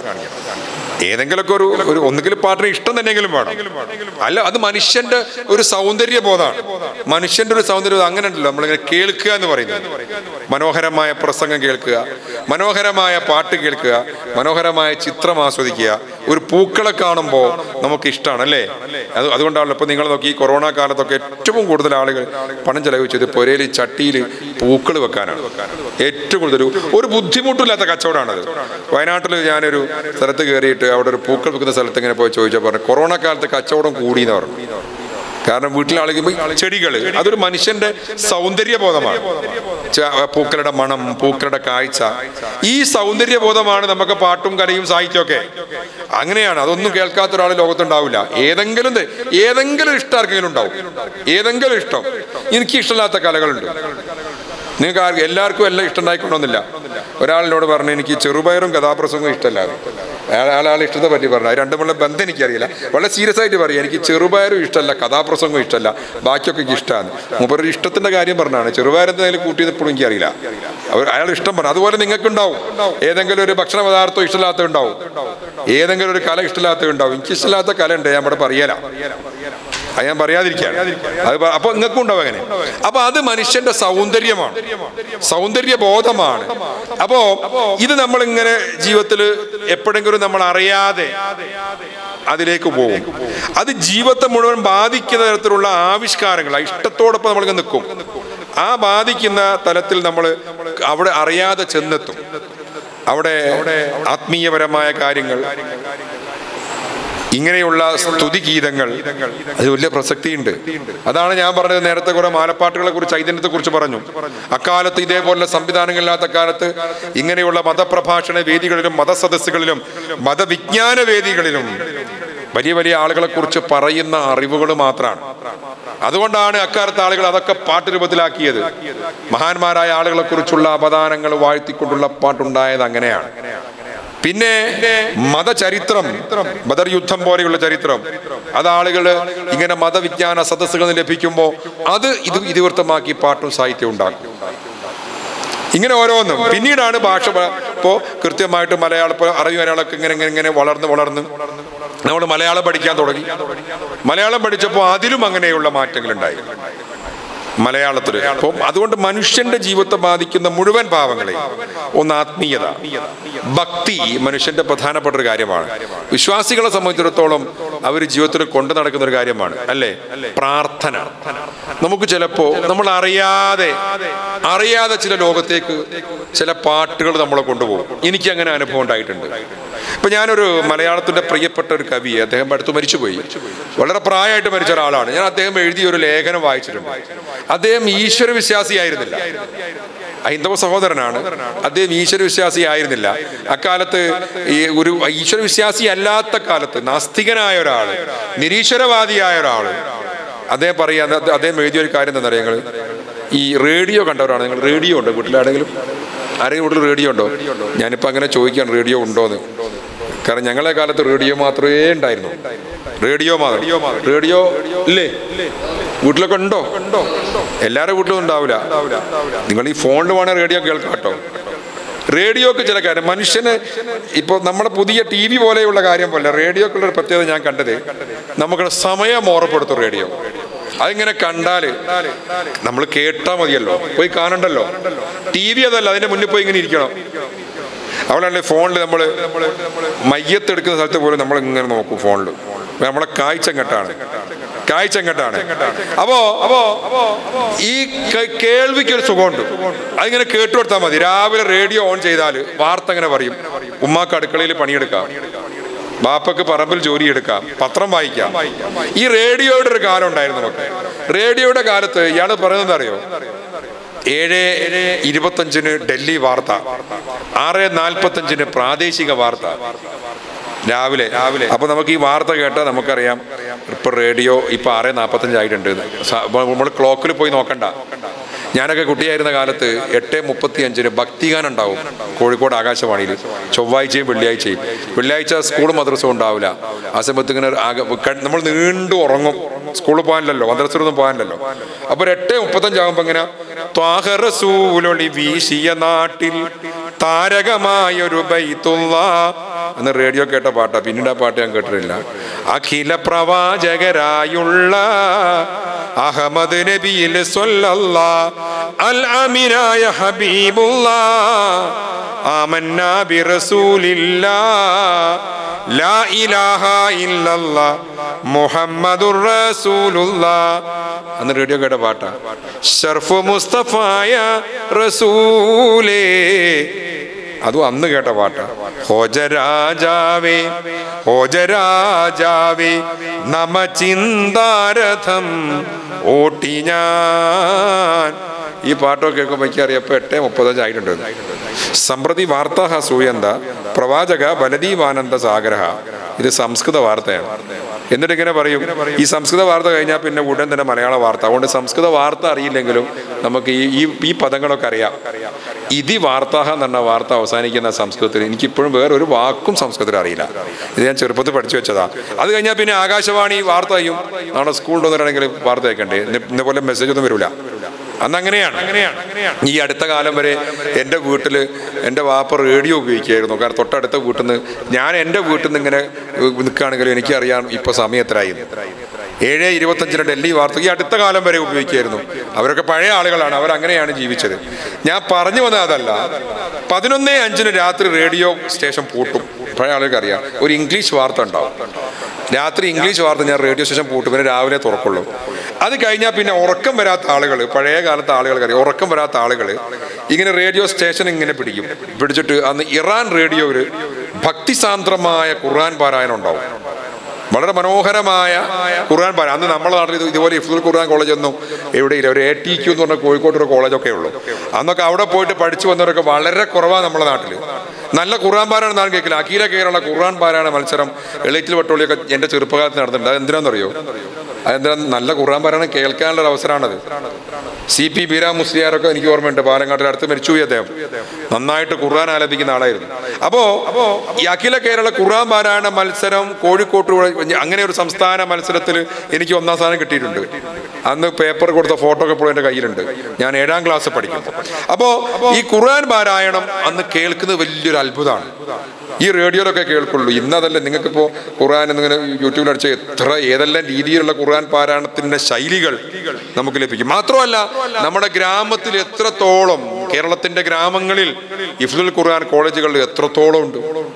അക്കാലത്ത് റേഡിയോയിൽ ഇങ്ങനെ ഈ ഖുർആൻ പാരായണം കേൾക്കാൻ ഇങ്ങനെ ആളുകൾ ഈ- ഇറാൻ റേഡിയോ ഇങ്ങനെ ട്യൂൺ ചെയ്യും. റേഡിയോ ഇങ്ങനെ ട്യൂൺ ചെയ്യണം. ഈ കവി പറഞ്ഞ എന്താണെന്നറിയോ?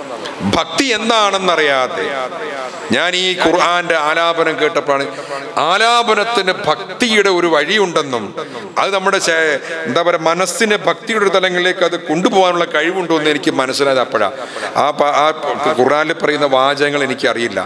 ആ അറബി ഭാഷ എനിക്കറിയില്ല. പക്ഷെ അത് കേൾക്കുമ്പോൾ ഞാൻ അറിയാതെ വേറൊരു ലോകത്തേക്ക് പോകുന്നുണ്ട്.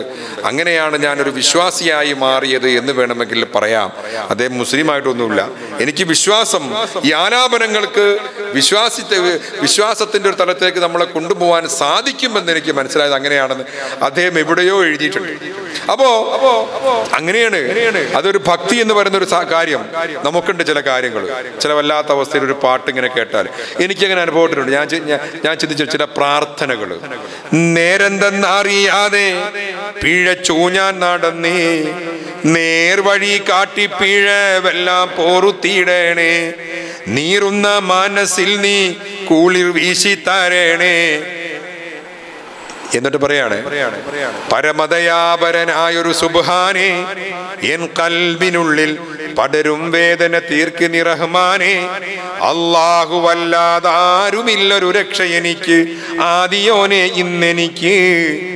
കരയാനും പറയാനും മനം തുറന്നിരക്കാനും നീയല്ലാതാരുമില്ല. കോനേ എന്റെ കരളിന്റെ ഊരുക്കങ്ങൾ ഇങ്ങനെയുള്ള പാട്ടുകളൊക്കെ ഉണ്ടായിട്ടുണ്ട്. നമ്മളിങ്ങനെ കൊണ്ടുപോകും ഒരു ലോകത്തേക്ക്. അല്ലേ? അല്ലേ? റഹ്മാനല്ല റഹീമാണല്ല റഊഫാനല്ലാ റബ്ബുൽ ആലമീനല്ല കരകടലിൽ വസിക്കും സർവചരാചരങ്ങൾ കെന്നുമഭയമല്ല എത്ര മനോഹരമായിട്ടാണ് പറയുന്നത്. വട്ടം കറങ്ങുന്ന ഗോളങ്ങൾ വിണ്ണിൽ വെട്ടിത്തിളങ്ങുന്ന താരങ്ങൾ മണ്ണിൽ വെട്ടം ചൊരിയുന്ന ദീപങ്ങൾ പൊട്ടിത്തകരാതെ മുട്ടിപ്പിലേരാതെ സൃഷ്ടിച്ചത് ഈ മണ്ണിലാരാണ് അല്ലാഹു. എത്ര മനോഹരമായ പാട്ടുകളാണ്. ഈ രോഗത്തിന്റെ ദൃഷ്ടാന്തങ്ങളെ കുറിച്ച് പറയാണ്. അള്ളാഹുവിന്റെ ദൃഷ്ടാന്തങ്ങളെ കുറിച്ച് പറയാണ്. അപ്പൊ ഇങ്ങനെയുള്ള ഒരു തലത്തിലേക്ക് നമ്മളിത് കൊണ്ടുപോകാൻ പറ്റും. ഒരു മറുഭാഗത്ത് നമ്മൾ ആലോചിക്കുകയാണെങ്കിൽ ഇപ്പോ മനുഷ്യന്റെ ജീവിതത്തെ ബാധിക്കുന്ന മറ്റൊരു ഭാവമാണ് പ്രവാചക പ്രകീർത്തനങ്ങൾ. തിരുനബി സല്ലാഹു അലൈഹി വസല്ലമ തങ്ങളെ പോലെ തങ്ങളെക്കുറിച്ചല്ലാതെ ലോകത്ത് ഏറ്റവും കൂടുതൽ പാട്ടുകൾ എഴുതിയ തങ്ങളെക്കുറിച്ചാണ് പാട്ട് പാടിയത് പാട്ട് കേട്ടത്. നിങ്ങളൊക്കെ മധുഹ ഗാന സദസ്സുകളിൽ എത്ര എത്ര ആളുകൾ പാട്ടിങ്ങനെ കേട്ടുകൊണ്ടേയിരിക്കുന്നു. അല്ലേ? അല്ലേ അല്ലേ ഹക്കിലും ഹക്കായ ഹക്കല്ലേ. ഒരാൾ പാടിയ പാട്ടാ. നിങ്ങൾ അതിന്റെ ഒരു പൊരുളിനെ കുറിച്ച് ആലോചിച്ചു ഹക്കിലും ഹക്കായ ഹക്കല്ലേ. പാതിരാ പെറ്റ നിലാവല്ലേ. എന്നും പാരിജാതത്തിൻ മണമല്ലേ. മാനവ സംസ്കാര സംശുദ്ധ സിദ്ധാന്തം ലോകത്തിനേകിയ കതിർകത്തും റസൂലിന്റെ തിരുറൗല ഷെരീഫന്റെ കരൽ കൊണ്ട് കാണി കാണാൻ വിധി കൂട്ടല്ല വിധി കൂട്ടല്ല. ഇപ്പോ ഓമന മുഹമ്മദിനെ ഒത്തിനയച്ചില്ല. നിങ്ങൾ പാടുന്ന തിരുവുതാഹാര സൂര്യനെ പ്രണയിച്ചു പ്രണയിച്ചു. എത്രയോ കവിതകൾ നിങ്ങൾ നിങ്ങൾക്കറിയാം. ഞാൻ അതൊന്നും ഇവിടെ പറയുന്നില്ല.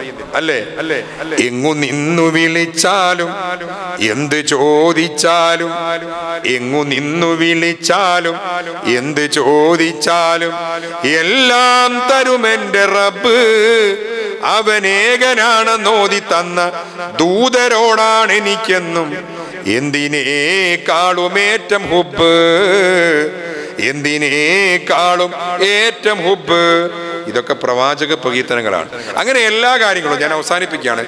കാരണം എന്റെ ഒരു സമയത്തിന്റെ പക്ഷേ ഈ അർദ്ധരാത്രിയിൽ ഏതാണ്ട് അർദ്ധരാത്രി അടുക്കുന്ന സമയത്ത് നമ്മൾ സംസാരിക്കുന്നത് അടുത്ത ആളുകളൊക്കെ ഉറങ്ങുന്നുണ്ട്. അവസാനം നിങ്ങളെപ്പോലെയല്ല ഞാൻ വേറൊരാൾ പ്രസംഗിക്കുന്ന പോലെയല്ല. അവരൊക്കെ എന്റെ ബന്ധുക്കളും ആളുകളൊക്കെ തന്നെ നാളെ എന്തായിരുന്നു? നീ ഉറങ്ങാൻ സമ്മതിക്കാത്തെന്ന് അവർ എന്നോട് ചോദിക്കും. അതുകൊണ്ട് ഞാനൊക്കെ എന്റെ വീടൊക്കെ ഇവിടെ തന്നെയാണ്. അതുകൊണ്ട് അധികം ഞാൻ സംസാരിക്കുന്നില്ല. അപ്പോൾ പ്രത്യേകിച്ച് വേറെ ആളുകൾ സംസാരിക്കുമ്പോൾ ഞാൻ സംസാരിക്കുമ്പോൾ കുറച്ച് ശബ്ദം കൂടിപ്പോകുന്ന എനിക്കൊരു സംശയമുണ്ട്. ഈ പാട്ടൊക്കെ പാടി പറയുമ്പോൾ അങ്ങനെ ഒരു കുഴപ്പമുണ്ട്. അത് വല്ല വല്ലാതെ ശബ്ദത്തിലാവും. അത് നമ്മൾ അറിയാതെ അങ്ങനെ ഉയർന്നു പോകും. അപ്പൊ ഞാൻ പറഞ്ഞത് ഇങ്ങനെയുള്ള കാര്യങ്ങൾ. അള്ളാഹുവിന്റെ ദൃഷ്ടാന്തങ്ങളെക്കുറിച്ച് പ്രവാചകൻ തിരുനബി സല്ലാഹു അലൈഹി വസല്ലം തങ്ങളെക്കുറിച്ച് അങ്ങനെയുള്ള ആത്മീയമായ വഴിയിൽ ഇപ്പോൾ ആമീന കോമന പൊന്മകനായി ആരംഭ പൈതൽ പിറന്നിരുന്നോ. ആരംഭ പൈതൽ പിറന്ന നേരം ആനന്ദ പൂത്ത് വിടർന്നിരുന്നു. ഇതൊക്കെ ആളുകൾ ഈ പാട്ടൊക്കെ ഇട്ട് നൃത്തം ചെയ്യുന്നൊക്കെ ഞാൻ കണ്ടിട്ടുണ്ട്. പക്ഷേ എത്ര മനോഹരമായ വരികൾ ഈ വരികളെ കുറിച്ച് നമ്മൾ ചിന്തിച്ചാൽ മതി. ഇഖ്റ ബിസ്മിനി കേട്ടിരുന്നു. ഹിറയെന്ന മാളം നീ കണ്ടിരുന്നു. അലതല്ലുമാവേശത്തേൻ കടലിൽ നബിയുള്ളയൊത്ത് കഴിഞ്ഞിരുന്നു. കാഫ് മല കണ്ട പൂങ്കാറ്റേ കാണിക്ക നീ കൊണ്ട് വന്നാട്ടെ. കാരക്ക കായ്ക്കുന്ന നാടിന്റെ മധുവൂറും കിസ്സ പറഞ്ഞാട്ടെ. കാറ്റിനോട് കിളികളോട് അറിയാം ഹറം ചുറ്റി ഉയരുന്ന പൂങ്കാറ്റേ. അറബിക്കടൽ താണ്ടി വന്നാട്ടെ ഈ തപ്പന പൂത്ത നാടിന്റെ ഇതിഹാസം ഒന്ന് പറഞ്ഞാട്ടെ. കാച്ചിനോട് ചോദിക്കുകയാണ് അല്ലേ? കിളിയെ കിളിയെ. ഇങ്ങനെയുള്ള പാട്ടുകളൊക്കെ ഉണ്ട്. ഈ നാടിന്റെ കഥകൾ നിങ്ങൾ നിങ്ങൾ നിങ്ങൾ പറഞ്ഞു തുരിസിനാമല താഴ്വരയിൽ ജെയ്ത്ത് മരത്തിൻ ശിഖരങ്ങളിൽ തങ്ങുമൊരു പക്ഷികളെ നിങ്ങൾ ത്വാഹനബിയുടെ റൗത കണ്ടോ? ത്വാഹനബിയുടെ റൗത കണ്ടോ? മക്കാമദീന ഞാൻ ഓർത്തുപോയി. ഹക്ക് റസൂലന്റെ നിലവിനായി കഴ്മയ വലം വെച്ച് പാറുന്ന കിളികളിൽ ഒരു കിളി ഞാനാവാൻ കൊതിച്ചുപോയി. ഇതൊക്കെ ഈ പ്രവാചക സ്നേഹത്തിന്റെ പല തലങ്ങളാണ്. ഇപ്പോഴും നമ്മൾ പാട്ട് ഇപ്പം മധുഗാന സഹസ്രങ്ങൾ പാട്ട് ഇങ്ങനെ പാടിക്കൊണ്ടേ ഇരിക്കുകയല്ലേ മനുഷ്യന്റെ നന്മക്ക് വേണ്ടിയാണ് എല്ലാ കലകളും എല്ലാ സാഹിത്യങ്ങളും മനുഷ്യനെ ഏതെങ്കിലും തരത്തിലുള്ള നന്മയിലേക്കാണ് അതൊക്കെ നയിക്കുന്നത്. അതിപ്പോ ഏത് ഭാ ഏത് വിഷയമായിരുന്നാലും പ്രവാചകന്മാരുടെ ചരിത്രം നമ്മൾ പഠിക്കുന്നില്ലേ? പാട്ട് രൂപത്തിൽ പഠിക്കുന്നില്ലേ? നിങ്ങൾ ഇബ്രാഹിം അദ്ഹമിന്റെ കിസ്സ കേട്ടിട്ടുണ്ടോ? ഇബ്രാഹിം അദ്ദേഹം കേട്ടിട്ടില്ലേ? കൊട്ടാരം വിട്ട സുൽത്താൻ എന്നൊക്കെ പറഞ്ഞ കഥാപ്രസംഗം കേട്ടിട്ടുണ്ടാവും. അങ്ങനെയുള്ള പണ്ടത്തെ കഥാപ്രസംഗം അല്ല ഇപ്പം അടുത്ത കാലത്തുള്ള ചില പേരുകളൊക്കെ ഉണ്ട്. പടക്കളത്തിലെ അഭിമന്യു അർദ്ധരാത്രിയിലെ കൂട്ടക്കരച്ചിൽ പേര് കേട്ടാൽ നമ്മൾ ഞെട്ടിപ്പോണ ജാതി രണ്ട് മണിക്കൂർ കൊണ്ട് നമുക്ക് പല കാര്യങ്ങളും പറയുന്ന കഥാപ്രസംഗങ്ങളൊക്കെ ഉണ്ട്. നല്ല കാര്യം തന്നെയാണ്. പക്ഷേ പണ്ട് കാലത്ത് ഇബ്രാഹിം അദ്ഹമിന്റെ കിസ്സയൊക്കെ പറയുന്നത് എത്രയോ ദിവസങ്ങൾ എടുത്തുകൊണ്ടാണ്. ബദർ പടപ്പാട്ടൊക്കെ പാടിയിരുന്നത് അങ്ങനെയാണ്. ഇബ്രാഹിം അദ്ദേഹം കൊട്ടാരത്തിലെ സൗഭാഗ്യങ്ങൾ ഉപേക്ഷിച്ച് മക്കത്തേക്ക് പോയി അള്ളാഹുവിന്റെ സാന്നിധ്യം തേടി അല്ലെങ്കിൽ സൂഫി മാർഗത്തിൽ പോയ ഒരാളാണ്. അദ്ദേഹത്തിന്റെ ചരിത്രം നമ്മളൊക്കെ പാട്ടുരൂപത്തിലാണ് പഠിച്ചത് അല്ലേ? തരണം പീതാവോരെ നിങ്ങൾ കേട്ടില്ല പാട്ട്? ഉങ്കളോഴികയില്ലേ താലത്തീലാരും എനിക്കില്ലല്ലോ. കിട്ടണോ ഭരണത്താലേറ്റം നിഴമത്തുണ്ടെന്നാലും ബാവായേനിക്ക് സുഖമില്ലല്ലോ. അങ്ങനെ പോയ വാപ്പയെ പിടിച്ചുകൊണ്ടിരാൻ വേണ്ടി മോളും ഭാര്യയും മോനും പോവാണ് അപ്പം ബാപ്പ മോനോട് പറയാണ് നിങ്ങൾ വരണം. ഭരണത്താൽ എനിക്ക് നിയമത്തുകളൊക്കെ ഉണ്ട് പക്ഷെ നിങ്ങൾ എന്റെ കൂടെ ഇല്ലല്ലോ. ആ സമയത്ത് ബാപ്പ പറയാണ് അപ്പോൾ ജവാബ് അരിമക്കാനിയേ നാം കാണും തീയാമം നാളെ. തിരിച്ചയക്കുകയാണ്. ഇങ്ങനെയുള്ള ഒരുപാട് ചരിത്രമൊക്കെ നമ്മൾ ഇങ്ങനെ പഠിക്കുകയാണ്. ഇതൊക്കെ നമ്മുടെ ജീവിതത്തിൽ മാതൃകയാവാൻ വേണ്ടിയാണ്. നമ്മുടെ ജീവിതത്തിൽ മാതൃകയാവാൻ വേണ്ടിയാണ്. ഇപ്പോൾ നിങ്ങൾ നിങ്ങളോട് സംസാരിക്കുമ്പോൾ നമ്മൾ സംസാരിക്കേണ്ടത് ഇന്നത്തെ കാലത്തിന്റെ സാധ്യത ഉപയോഗിച്ചുകൊണ്ടാണ്. ഇപ്പൊ അടുത്ത കാലത്ത് വളരെ പഴയ ഒരു പാട്ട് ഒരു സൂപ്പർ ഹിറ്റ് ആയിട്ട് ഏതാണ്ട് ഏഴര ലക്ഷത്തിലധികം ആളുകൾ യൂട്യൂബിൽ കണ്ടൊരു പാട്ടുണ്ട്. പക്ഷെ മനോഹരമായിട്ട് അത് പാടി വെച്ചിട്ടുണ്ട്. ഏതോ ചലച്ചിത്രഗാന രംഗത്തുള്ള ആളുകളൊക്കെയാണ് പാടിയത്. രാജ്യം ഭരിക്കുന്ന ഒരു ഭരണാധികാരി തന്റെ പ്രിയപ്പെട്ട പത്നിയോട് ചോദിക്കുകയാണ് എന്റെ കയ്യിൽ കുറച്ച് നിന്റെ കൈ വല്ല പൈസയുണ്ടോ എനിക്ക് തരാൻ? ഭാര്യ ഭർത്താവ് ഭാര്യയോട് ചോദിക്കുക അപ്പം ഭാര്യ ചോദിക്കുക നിങ്ങൾ ആരാണ്? നിങ്ങൾ ആരാണ്? നിങ്ങൾ ഈ രാജ്യം ഭരിക്കുന്ന ഭരണാധികാരിയാണ്. എന്നിട്ട് എന്നോട് പൈസ ചോദിക്കുക അങ്ങാര്? എന്നറിയില്ലേ? നിങ്ങൾ ഈ നാട്ടിലെ രാജാവല്ലേ? അങ്ങ് വെറും നാലണയില്ല യാചകരായെന്നോ? പ്രാണസഖി നന്നായി അറിയാം ഞാൻ ഇന്നാട്ടിൽ അമീറാണെന്ന്. എന്നാലും എന്റെതായൊരു ദീർഘമുമില്ല പ്രിയേ. ഉണ്ടോ സഖി? ഒരു കുല മുന്തിരി വാങ്ങിടുവാനായി നാലണ കയ്യിൽ. അത് കേട്ടിട്ടുണ്ടാവില്ലേ? ഉണ്ട് പ്രിയേ കൽവിലൊരാശ. മുന്തിരി തിന്നിടുവാൻ. നിങ്ങളെ കൂട്ടത്തൊക്കെ പാട്ട് പാടുന്നുണ്ടാവും. നിങ്ങൾ ചിലപ്പോൾ ഈ കഥ അത്രത്തോളം ആലോചിച്ചിട്ടുണ്ടാവില്ല. ചില കുട്ടികളൊക്കെ ഇപ്പോൾ ഞാൻ അവസാനിപ്പിക്കുകയാണ്. ഇങ്ങനെയുള്ള നന്മയിലേക്കാണ് നമ്മളെ നയിക്കേണ്ടത്. ചില കുട്ടികളൊക്കെ പാട്ട് പാടുമ്പോൾ അതുകൂടി പറഞ്ഞ് ഞാൻ അവസാനിപ്പിക്കാം. നിങ്ങൾക്ക് ഏത് ഉസ്താദന്മാർ പാട്ട് തന്നാലും ഏത് ഗുരു പാട്ട് തന്നാലും ഇതിന്റെ വിഷയം എന്താണ് ഉള്ളടക്കം എന്താണെന്ന് അവരോട് ചോദിക്കണം. എന്ന് പറഞ്ഞാൽ എല്ലാം ഒരുപോലെയല്ല. ഭക്തി ഉള്ള ഒരു പാട്ട് നമുക്ക് സന്തോഷത്തോടു കൂടി ചുവട് വെച്ചുകൊണ്ട് പാടാൻ പറ്റൂല. പറ്റുമോ പറ്റുമോ സങ്കടമുള്ള പാട്ട് പറ്റുമോ സങ്കടമുള്ള പാട്ട് കേൾക്കുമ്പോൾ നമുക്ക് സങ്കടമായി തോന്നണ്ടേ? അല്ലെങ്കിൽ ഇങ്ങനെ അധോഗതിയിലേക്ക് താഴ്ന്നുകൊണ്ടിരിക്കുക ചില ആൾക്കാർ. ആക്ഷൻ ഇങ്ങനെ പറയുന്നുണ്ട്. അധോഗതിയിലേക്ക് താഴ്ന്നുകൊണ്ടിരിക്കുക ആക്ഷൻ മാറിപ്പോവും. മനസ്സിലായോ? ഏ? പുരോഗതിയിലേക്ക് ഉയർന്നു ഉയർന്നുകൊണ്ടിരിക്കുക ഇങ്ങനെ ആക്ഷൻ പറയാൻ പറ്റുമോ പറ്റുമോ പറ്റില്ലല്ലോ? അപ്പോ സങ്കടമുള്ള പാട്ട് പാടുമ്പോൾ സങ്കടമായിട്ട് തോന്നണം. ഞാൻ ചെറിയ ഉദാഹരണം പറയാം. വമ്പുറ്റ ഹംസാറ് നീയല്ല. ചാടിട്ടെമ്പിയസ് ബതിൽ മാറേടാ. വള്ളൽ നബീമാ ഹൗദ. വള്ളൽ നബി മഹമൂദർ ഹൗദിന്ന് വെള്ളം കുടിക്കുന്നോനാരേടാ. അംബർ സഫിയുള്ള കാവൽ വെച്ചുള്ള സംഭരമിൽ വന്ന് ചേരടാ. ഹൈറുൽ വാറ നബിയാർ കൂളത്തിന്ന് ധൈര്യമുണ്ടെങ്കിൽ കോരടാ. ഇത് കേട്ടിരിക്കും തോന്നി എന്താ ഇതിന്റെ ഭാവം? എന്താ തോന്നി? ഒരാളെ വെല്ലുവിളിക്കുമ്പോൾ തോന്നിയില്ലേ? തോന്നിയില്ലേ? വമ്പന്മാരുണ്ടെങ്കിൽ ഞാനൊന്ന് കാണട്ടെ. വന്ന് ബലത്തോടെ വെള്ളം കൂടിച്ചാട്ടെ അല്ലേ ഒരാളെങ്ങനെ ധൈര്യം ഉണ്ടെങ്കിലും തൊട്ടു നോക്കുന്നൊക്കെ പറയില്ല നിങ്ങൾ ഇല്ലേ? അതുപോലെ തോന്നില്ലേ? ഇത് ബദറിലെ ഒരു രംഗാണ്. ചില കുട്ടികൾ എന്നിട്ട് പാടും. വമ്പന്മാരുണ്ടെങ്കിൽ ഞാനൊന്ന് കാണട്ടെ. കേൾക്കാനൊക്കെ നല്ല സുഖം ഉണ്ടാവും. കേൾക്കാനൊക്കെ? പക്ഷെ ഈ ഭാവമായിട്ട് ബന്ധമുണ്ടോ? ഉണ്ടോ? ഉണ്ടോ വമ്പുറ്റ ഹംസ ചാടി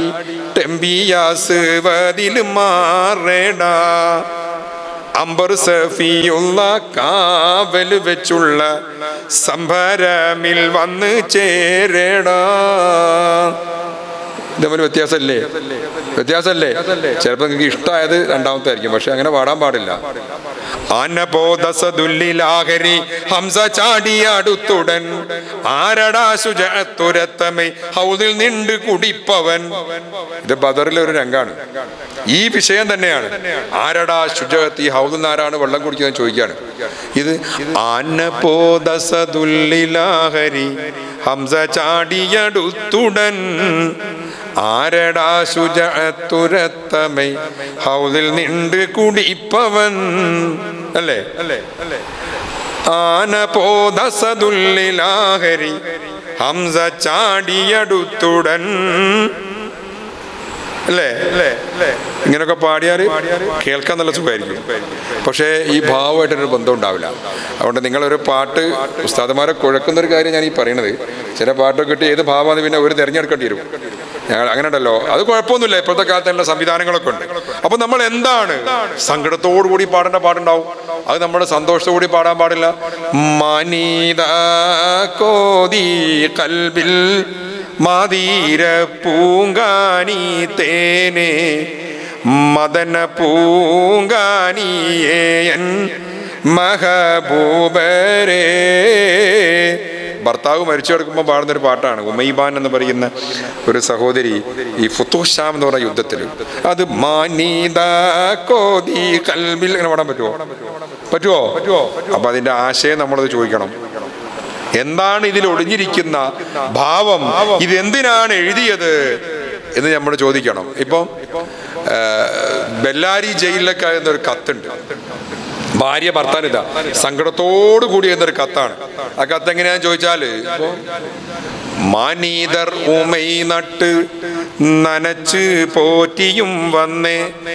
മരം പൂത്ത് കനി മുന്നം പറിച്ചു നിന്നേ ഇരസം മനസ്സുള്ളിൽ മറന്നോ കണ്ണകന്നേ പിന്നെ. ഹല്ലാക്കിൻ വിധിയാലേ കഴിഞ്ഞ ചൂമുഴാരാവ് കനിന്ത് ഞാനുമൈകളെ ഒരു കീനാവ് അതിനാൽ കരൽ കത്തി പ- കരിഞ്ഞു പോണിത എഞ്ചീവ് ഇതൊരു സങ്കടാണല്ലേ? ഇത് ഹല്ലാക്കിൻ വീതിയാലെ കഴിഞ്ഞ ജൂമുഴാരാവ് ഇങ്ങനെ വേണം പറ്റുമോ? കനിന്ത് ഞാനുമൈകേളെ ഓരോ കീനാവ്. ഇങ്ങനെയും പാടത്. ഇങ്ങനെയും പാടിക്കൂടെ? വേണം പറ്റൂല. എന്താണ് ഇതിന്റെ ഉള്ള ആശയം എന്നുള്ളൊരു തിരിച്ചറിവ് നമുക്ക് വേണം. അതൊക്കെയാണ് നിങ്ങൾ മത്സരവേദികളിലൊക്കെ പ്രത്യേകിച്ച് You too. എനിക്ക് ഈ പിന്നെ ചില സംഗീതോപകരണങ്ങളുടെ ആധിക്യം. അതിപ്പോൾ ഈ ടാമ്പിൾ എന്ന് പറയുന്ന നമ്മൾ ഈ ദഫ് പോലും ചിലപ്പോൾ അത് അതിന്റെ അതിര് കടന്നായി പലപ്പോഴും എനിക്ക് തോന്നാറുണ്ട്. അതിന്റെ അതിര് കഴിയുന്നത് പോലെ. കാരണം ഈ ആശയങ്ങൾ പാട്ടുകൾ ഇങ്ങനെ. ഞാൻ ഈ സംസാരിക്കുമ്പോൾ ചില കോളേജിലൊക്കെ കുറച്ച് കുട്ടികൾ കൈയടി ഞാൻ പറഞ്ഞു കൈയടിച്ചാൽ ഞാൻ പാടില്ല എന്ന് പറയും. ഈ കൈയടിച്ചാലുള്ള കുഴപ്പം അറിയോ കുട്ടികൾ ഈ കൈയടിക്കുന്നത് ശ്രദ്ധിക്കും. നമ്മൾ നമ്മൾ പറയുന്ന കാര്യം ശ്രദ്ധിക്കൂല. കയ്യടി കുട്ടിക്ക് വലിയ ആവേശ. വലിയ ആവേശ. മിന്നിത്തിളങ്ങും മിന്നാമീനുങ്ങിന്റെ കൂട്ടമെന്നോണം വിണ്ണിലിരുന്ന് ഇങ്ങനെ കൈയടിച്ച കുട്ടികൾക്ക് മാത്രം ശ്രദ്ധിക്കും. ഞാൻ എന്താ പാടുന്നത് ശ്രദ്ധിക്കുകയല്ല. അപ്പൊ ഞാൻ ഈ സംസാരിക്കുമ്പോൾ എനിക്ക് ഞാൻ എന്താണ് പറയുന്നത് നിങ്ങളെ ബോധ്യപ്പെടുത്തേണ്ട ഒരു ആവശ്യകത അതുകൊണ്ടാണ് അതുകൊണ്ട് ഈ കയ്യടിക്കൊക്കെ നമുക്ക് പലപ്പോഴും ബുദ്ധിമുട്ടുണ്ടാക്കും. അപ്പൊ ഞാൻ പറഞ്ഞു വന്നത് നിങ്ങൾ ഏത് കാര്യം നിങ്ങളൊരു പാട്ട് പാടുകയാണെങ്കിൽ നിങ്ങൾ പ്രസംഗിക്കുകയാണെങ്കിൽ നിങ്ങൾ ചിത്രം വരയ്ക്കുകയാണെങ്കിൽ നിങ്ങൾ എന്ത് ചെയ്യുകയാണെങ്കിലും അതിന്റെ ഉദ്ദേശം എന്താണെന്ന് തിരിച്ചറിയണം. കാരണം ഇതൊക്കെ പറഞ്ഞു പോയിട്ട് നാളെ ഇവിടെ എവിടെയും കാണുമ്പോൾ ഈ പാട്ടിന്റെ ഉദ്ദേശം എന്താ എന്നോട് ചോദിച്ചു കൊടുക്കൊന്നും വേണ്ട. എല്ലാ പാട്ടിനും പറയാൻ ഞാൻ ആളൊന്നുമല്ല. ഞാനിവിടെ പള്ളിയിലൊക്കെ വരുന്ന ആളാണ്. ഏതൊക്കെ അറിയാത്തൊരു പാട്ട് എന്ന് ചോദിക്കൊന്നും വേണ്ട. അതൊക്കെ നിങ്ങൾ നിങ്ങൾ എന്നെ കണ്ടുപിടിക്കണം. കാരണം ഞാൻ ഒരിക്കലും സ്ഥലത്ത് പ്രസംഗിക്കാൻ പോയിട്ട് നിങ്ങൾ സംസ്കാര സമ്പന്നരായി വളരണം എന്ന് പ്രസംഗിച്ച ഒരു കോളേജിൽ ഞാൻ വണ്ടി കയറാൻ നേരത്തെ ഒരു ചെറിയൊരു ഒരു എനിക്ക് ആ കുട്ടിയെ എപ്പോഴും ഓർമ്മയുണ്ട്. മാഷി ഈ സംസ്കാര സമ്പന്നനായി വളരണമെന്നല്ല അങ്ങനെ പറഞ്ഞാൽ എന്താന്ന് ചോദിച്ചു. പിന്നെ ഞാൻ കുടുങ്ങിയാണ് അപ്പോ അതുപോലെ എന്തെങ്കിലുമൊക്കെ പറഞ്ഞ് അങ്ങോട്ട് പോകുന്നതല്ല. നിങ്ങൾ തന്നെ കണ്ട് ഇപ്പം എല്ലാം കണ്ടുപിടിക്കാനുള്ള സാധ്യതകൾ നമ്മുടെ മുമ്പിലുണ്ട്. പണ്ടത്തെ പോലെയൊന്നുമല്ല. ഉസ്താദുമാരൊക്കെ പാട്ടൊക്കെ പഠിപ്പിച്ചത് എങ്ങനെയാണെന്നറിയോ?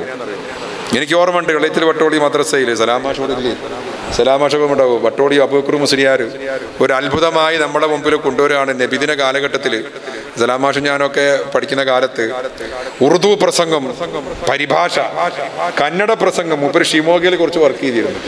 ചെയ്തിട്ട് എന്നിട്ട് ഇവിടെ കൊണ്ടുവന്ന് ഒരു വർഷമായിട്ട് ഒരു തരംഗം ഉണ്ടാക്കി അയേ സദറേ മുഹത്തറം ഞാനങ്ങനെ ഒരു ഉറുദു പറഞ്ഞ് അണ്ടിക്കുള്ള റഷീദ് അതിന് പരിഭാഷ. എനിക്കിപ്പോഴും ഓർമ്മയുണ്ട്. നമ്മളിത് കാണാണ്ട് പഠിക്കുക പഠിക്കുക എനിക്കിപ്പോഴും അന്നത്തെ ചില അന്ന് ആ പഠിച്ച ഉറുദു ഓർമ്മയുള്ളൂ. അതുകൊണ്ട് ഉസ്താദുമാർ ഇതൊക്കെ അന്വേഷിച്ച് നമ്മുടെ മുമ്പിൽ അവതരിപ്പിക്കുമ്പോൾ അതൊക്കെ വലിയ ബുദ്ധിമുട്ടക്കാലത്ത്. നിങ്ങൾക്ക് ഇന്ന് നബിദിനത്തിന് ഒരു ഉറുദു പ്രസംഗം ചോദിച്ചാൽ ഇങ്ങനെ യൂട്യൂബിൽ അടിച്ചു കിട്ടും. വളരെ സിമ്പിളാണ് ഇപ്പോൾ ഏത് ഭാഷയിൽ നിന്നും വാക്കും പ്രസംഗവും പാട്ടും ഒക്കെ നമുക്ക് കിട്ടും. നിങ്ങൾ നിങ്ങൾ തന്നെ ശ്രമിച്ചുകൊണ്ട് നിങ്ങൾ സാധിക്കുന്ന ഒരു ലോകത്താണ്. സംഭാഷണം എന്ന് പറഞ്ഞ സാധനം സംഭാഷണം. ഞാൻ എനിക്കിപ്പോഴും ഓർമ്മയുണ്ട്. മാളിയക്കൽ ഉസ്മാൻ കോട്ടോപ്പാറമൽ അബ്ബാസ് ഞാനും ഒക്കെ സംഭാഷണം മൂന്നാൾ കുളിക്കിപ്പോയിലെ സിദ്ദീഖ്. ഞങ്ങളൊക്കെ ഇങ്ങനെ നിനക്കൊന്ന് കുളിച്ചൂടെ സഹോദര?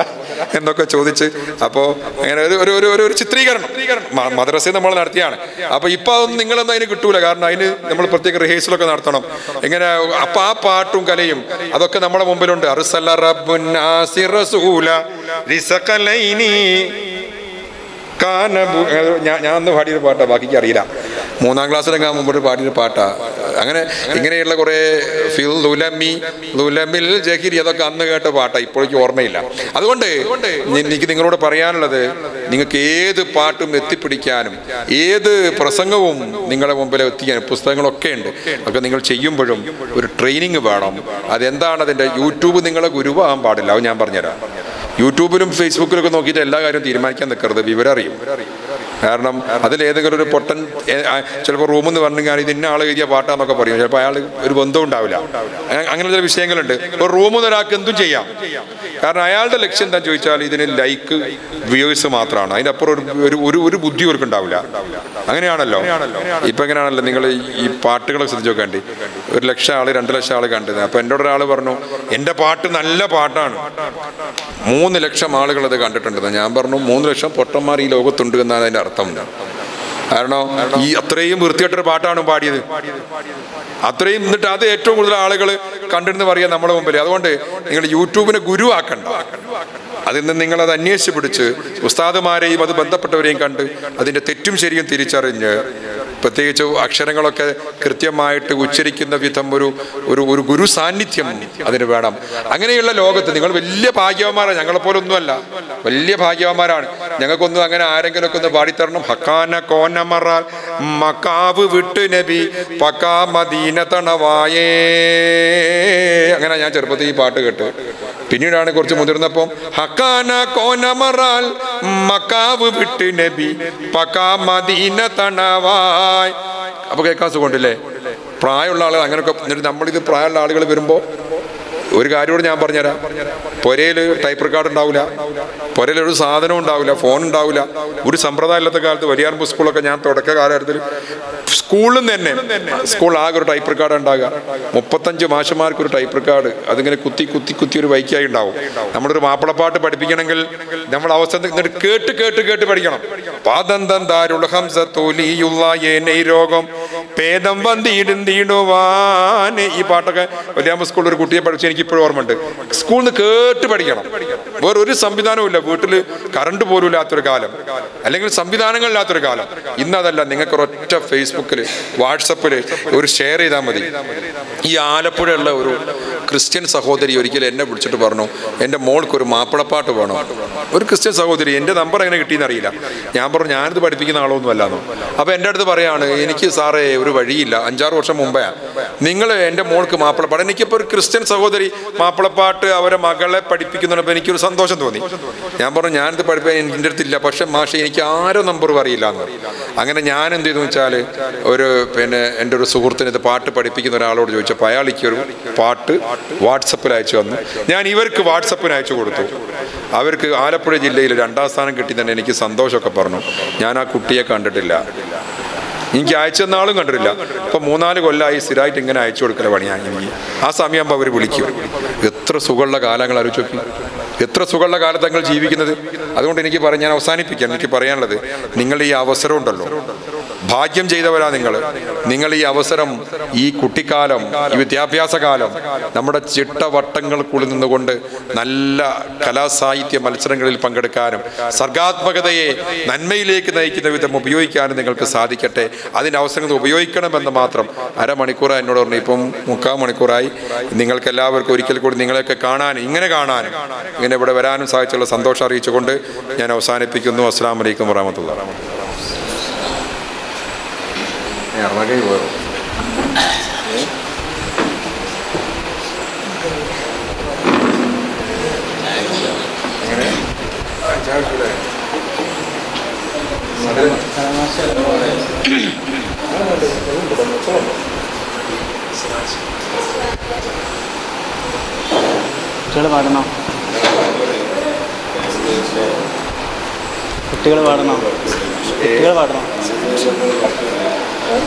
നമ്മുടെ ഈ പരിപാടിക്ക് ആശംസ അറിയിക്കുന്നു.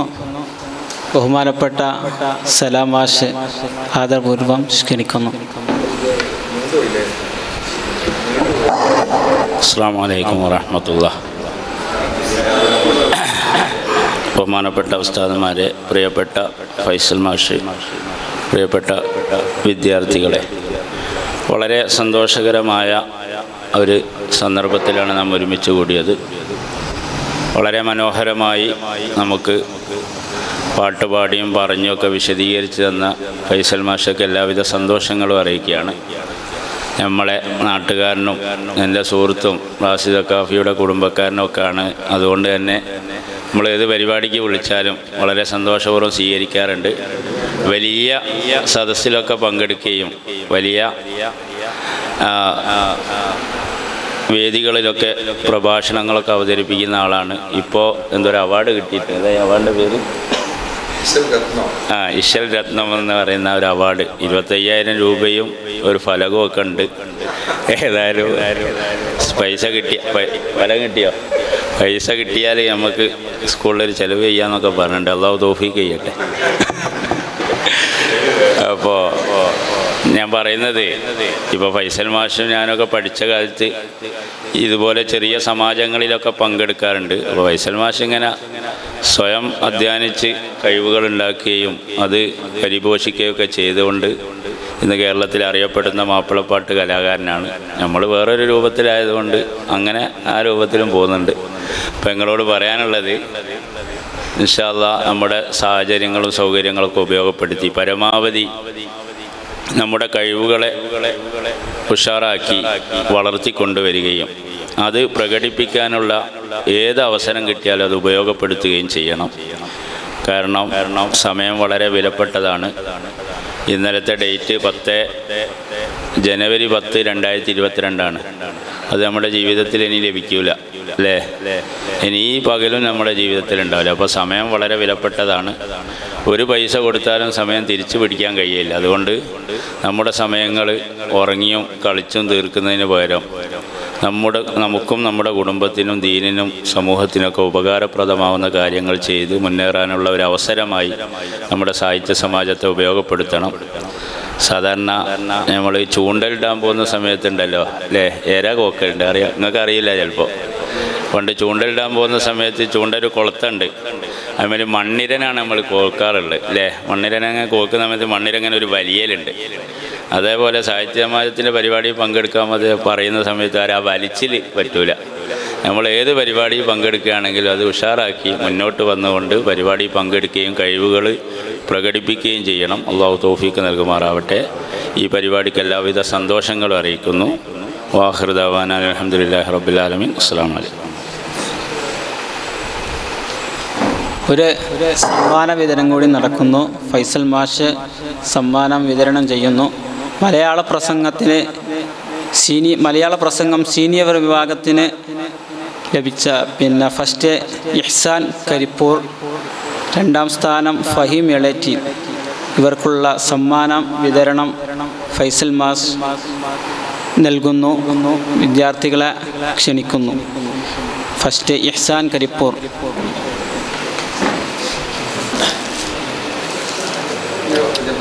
എടുക്കണ്ടോ? ഫോട്ടോ എടുക്കണ്ടോ? അള്ളാഹു അക്ബർ. നമ്മളെ പൂർവ വിദ്യാർത്ഥിയാണ് വലിയറമ്പ സ്കൂളിൽ.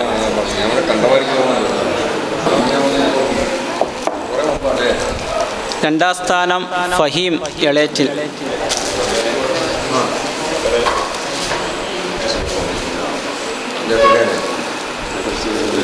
അള്ളാഹു അക്ബർ.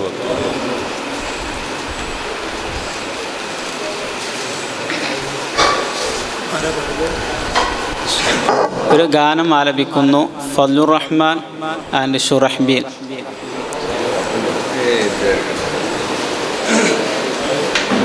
പാട്ട്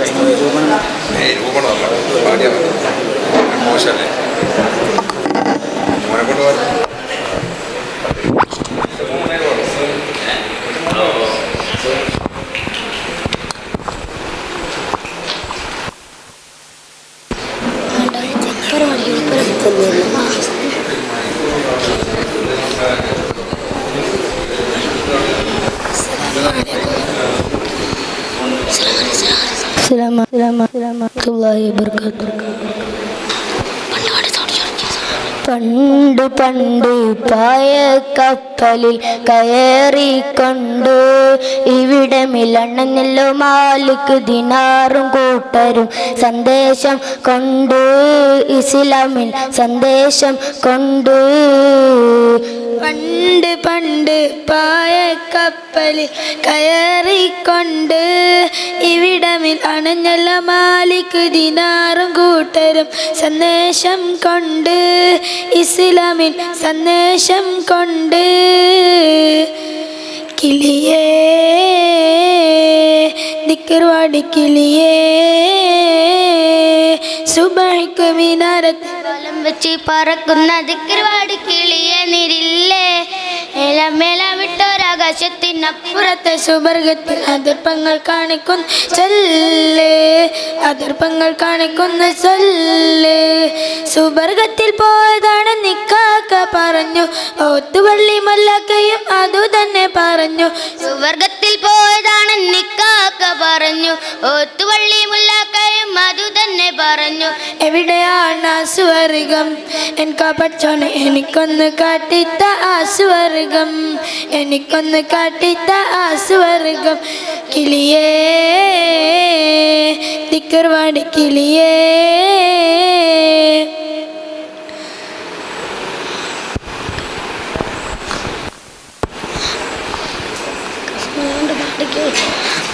കാഫുമലങ്ങണ്ട പൂങ്കാറ്റേ കാരക്ക കണ്ടു വന്നാട്ടെ കാരക്ക കായ്ക്കുന്ന നാടിന്റെ മധുഹോറും കിസ്സ പറഞ്ഞാട്ടെ. ഒരു കുലമുന്തിരി അങ്ങിടുവാൻ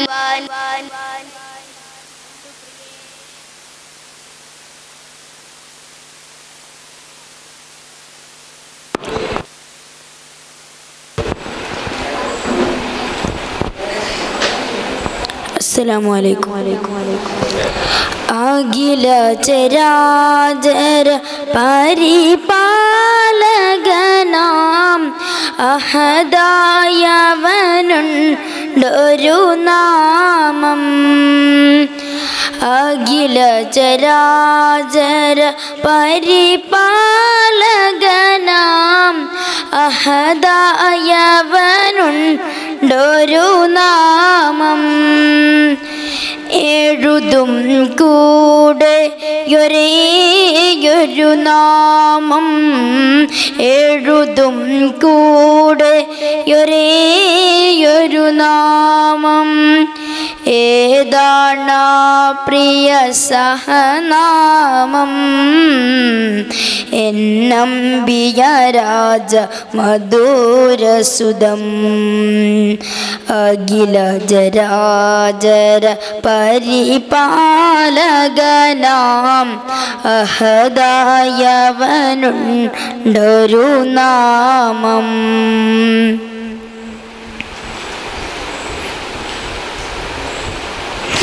അർശിന് മീതേ ആദിയിലന്ന് ആദം പിതാവ് കണ്ട പദം അവിടം നിറയും മാലാകകളുടെ ഐനിന്നിടയിലെ വെൺകിരണം. അവിടം നിറയും മാലാകകളുടെ ഐനിന്നിടയിലെ വെൺകിരണം. അഖില ജരാജര പരിപാലകനാം. അഹദായവനുണ്ടൊരു നാമം അഖില ജരാജര പരിപാലകനാം. അഹദായവനുണ്ടൊരു നാമം അസ്സലാമു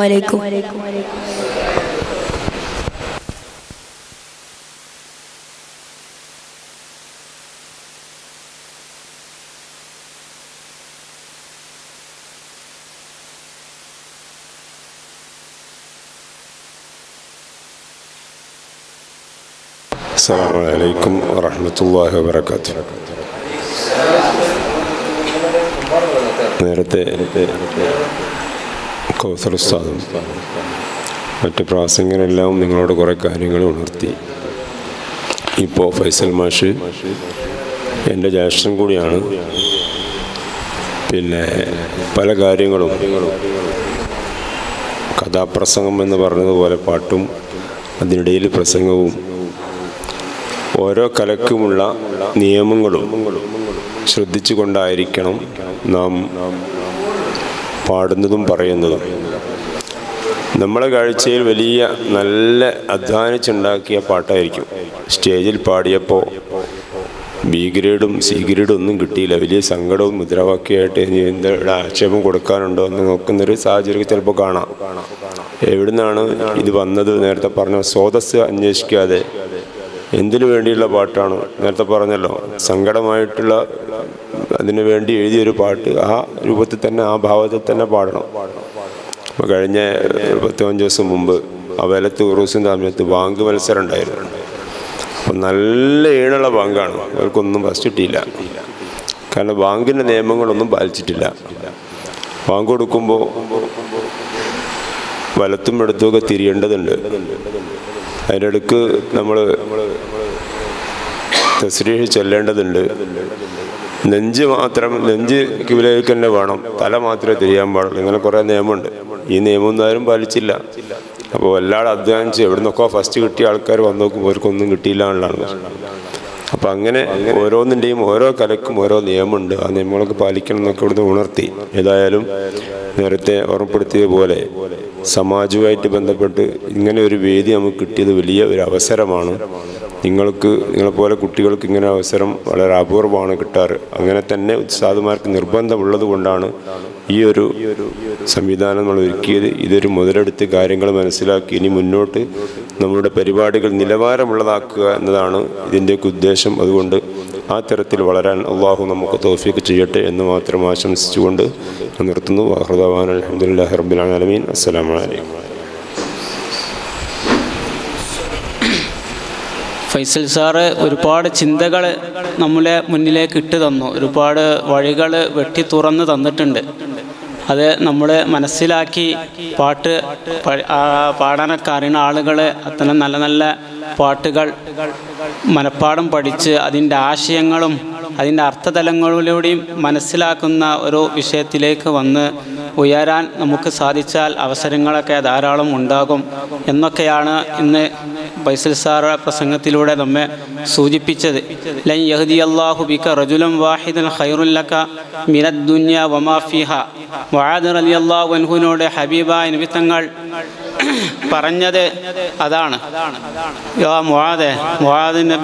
മൊഹാനവറുകളോട് നബി നബി തങ്ങൾ പറഞ്ഞത് യമനിൽ പോയിട്ട് പ്രബോധനം ചെയ്യാൻ ആളുകളെ നല്ല മതത്തിലേക്ക് ഇസ്ലാമിലേക്ക് ജനങ്ങളെ നല്ല മാർഗത്തിലേക്ക് വഴി നടത്താനും വഴി കൂട്ടാനും ആളുകളോട് ഹബീബ നബി സല്ലല്ലാഹു അലൈഹി തങ്ങൾ തങ്ങൾ അലി അള്ളാഹുവിനെ പ്രബോധനത്തിന് വേണ്ടി പറഞ്ഞയച്ച സമയത്ത് മുഹാദ് അലി അള്ളാഹുനു പറഞ്ഞു നബിയെ അങ്ങയെ വിട്ട് എങ്ങനെയാണ് ഞാൻ പോകൽ? അങ്ങയുടെ പൂമുഖം എപ്പോഴും കണ്ടു കൊണ്ടിരിക്കാൻ വല്ലാത്ത എനിക്ക് ആശയുണ്ട്. അങ്ങയെ ഒരു നോക്ക് കാണാതെ ജീവിക്കാൻ പോലും എനിക്ക് കഴിയില്ല. അത്രമേൽ മനപ്രയാസമാണ്. ആ സമയത്ത് ഹബീബായ നബി തങ്ങൾ അവിടുന്ന് പറഞ്ഞത് അതാണ്. അവിടുത്തെ മനസ്സിനെ തണുപ്പിച്ചുകൊണ്ട് അവിടുത്തെ മനസ്സിനെ ആശ്വസിപ്പിച്ചുകൊണ്ട് പറഞ്ഞത് ലൈ ബിക റജുലൻ നിനക്ക് നിന്റെ കാരണത്തിലൂടെ ആരെങ്കിലും ഒരാളെ മതത്തിലേക്ക് കടന്നു വന്നാൽ വഴിവിട്ട ജീവിതം നയിക്കുന്നതിൽ നിന്നും നല്ലൊരു മാർഗത്തിലേക്ക് നല്ലൊരു ജീവിതത്തിലേക്ക് കടന്നു വന്നാൽ അത് നിനക്ക് ദുന്യാവും അതിലുള്ള സകലതും നിന്റെ കൈവെള്ളയിൽ വരുന്നതിനേക്കാളും നിനക്ക് വലിയ മഹത്വമാണ് വലിയ മുതലാണ് എന്ന് ഹബീബായ നബി തങ്ങൾ പറഞ്ഞു.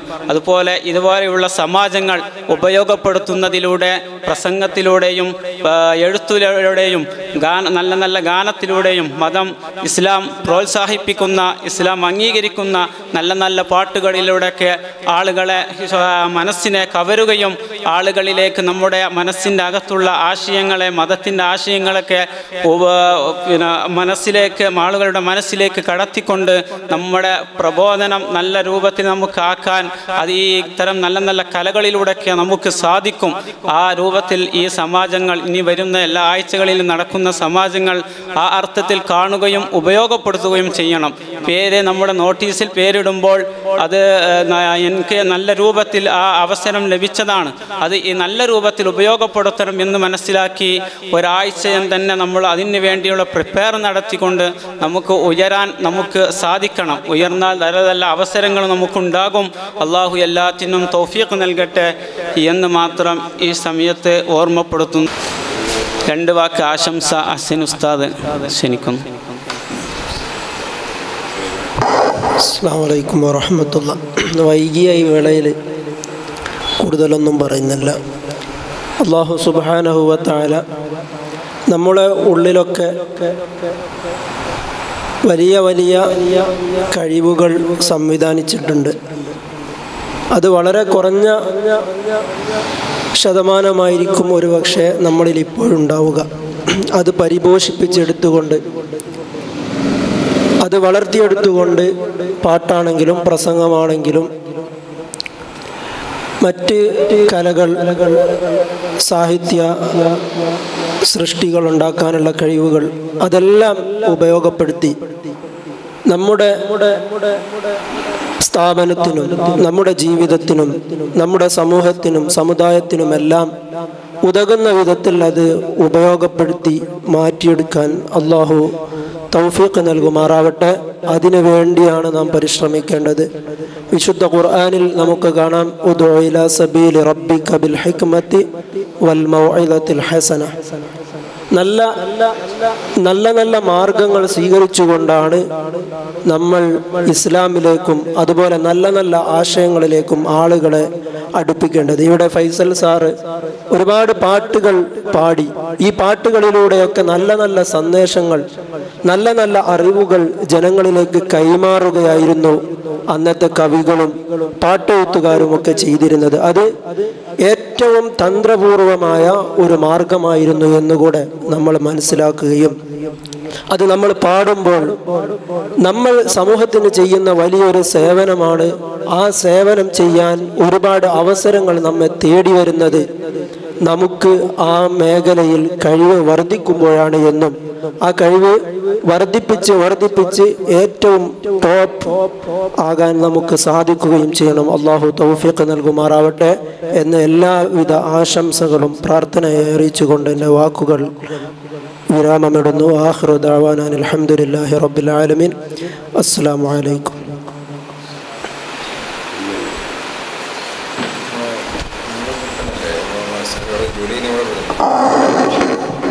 അസ്സാം വലൈക്കും വറഹമത്തല്ലാഹി വാത്തു അള്ളാഹുവിന്റെ തൗഫീഖ് കൊണ്ട് നമ്മുടെ പരിപാടി നല്ല രൂപത്തിൽ വിജയകരമായി നടത്താൻ സാധിച്ചു. അള്ളാഹു സുബാനു ചാല സ്വീകരിക്കുമാറാകട്ടെ. അതോടൊപ്പം അധ്യക്ഷൻ ജാഫർ ഉസ്താദിനും നമ്മുടെ പരിപാടി ഉദ്ഘാടനം ചെയ്ത അബൂബക്കർ സക്കാഫി ഉസ്താദിനും അതോടൊപ്പം മുഖ്യ പ്രഭാഷണം നടത്തിയ ഫൈസൽ സാർ അളേറ്റിലിനും അതോടൊപ്പം നമ്മുടെ വേദിയിൽ റാസി ഉസ്താദ് കബീർ മാസർ ഞങ്ങൾ ഉസ്താദുമാർ എല്ലാവർക്കും മറ്റാക്കിൽ നന്ദി ആശംസിക്കുന്നു. മൂന്ന് സലാത്തോടി സല്ലല്ലാഹു അലാ മുഹമ്മദ് സല്ലല്ലാഹു അലൈഹി വസല്ലം.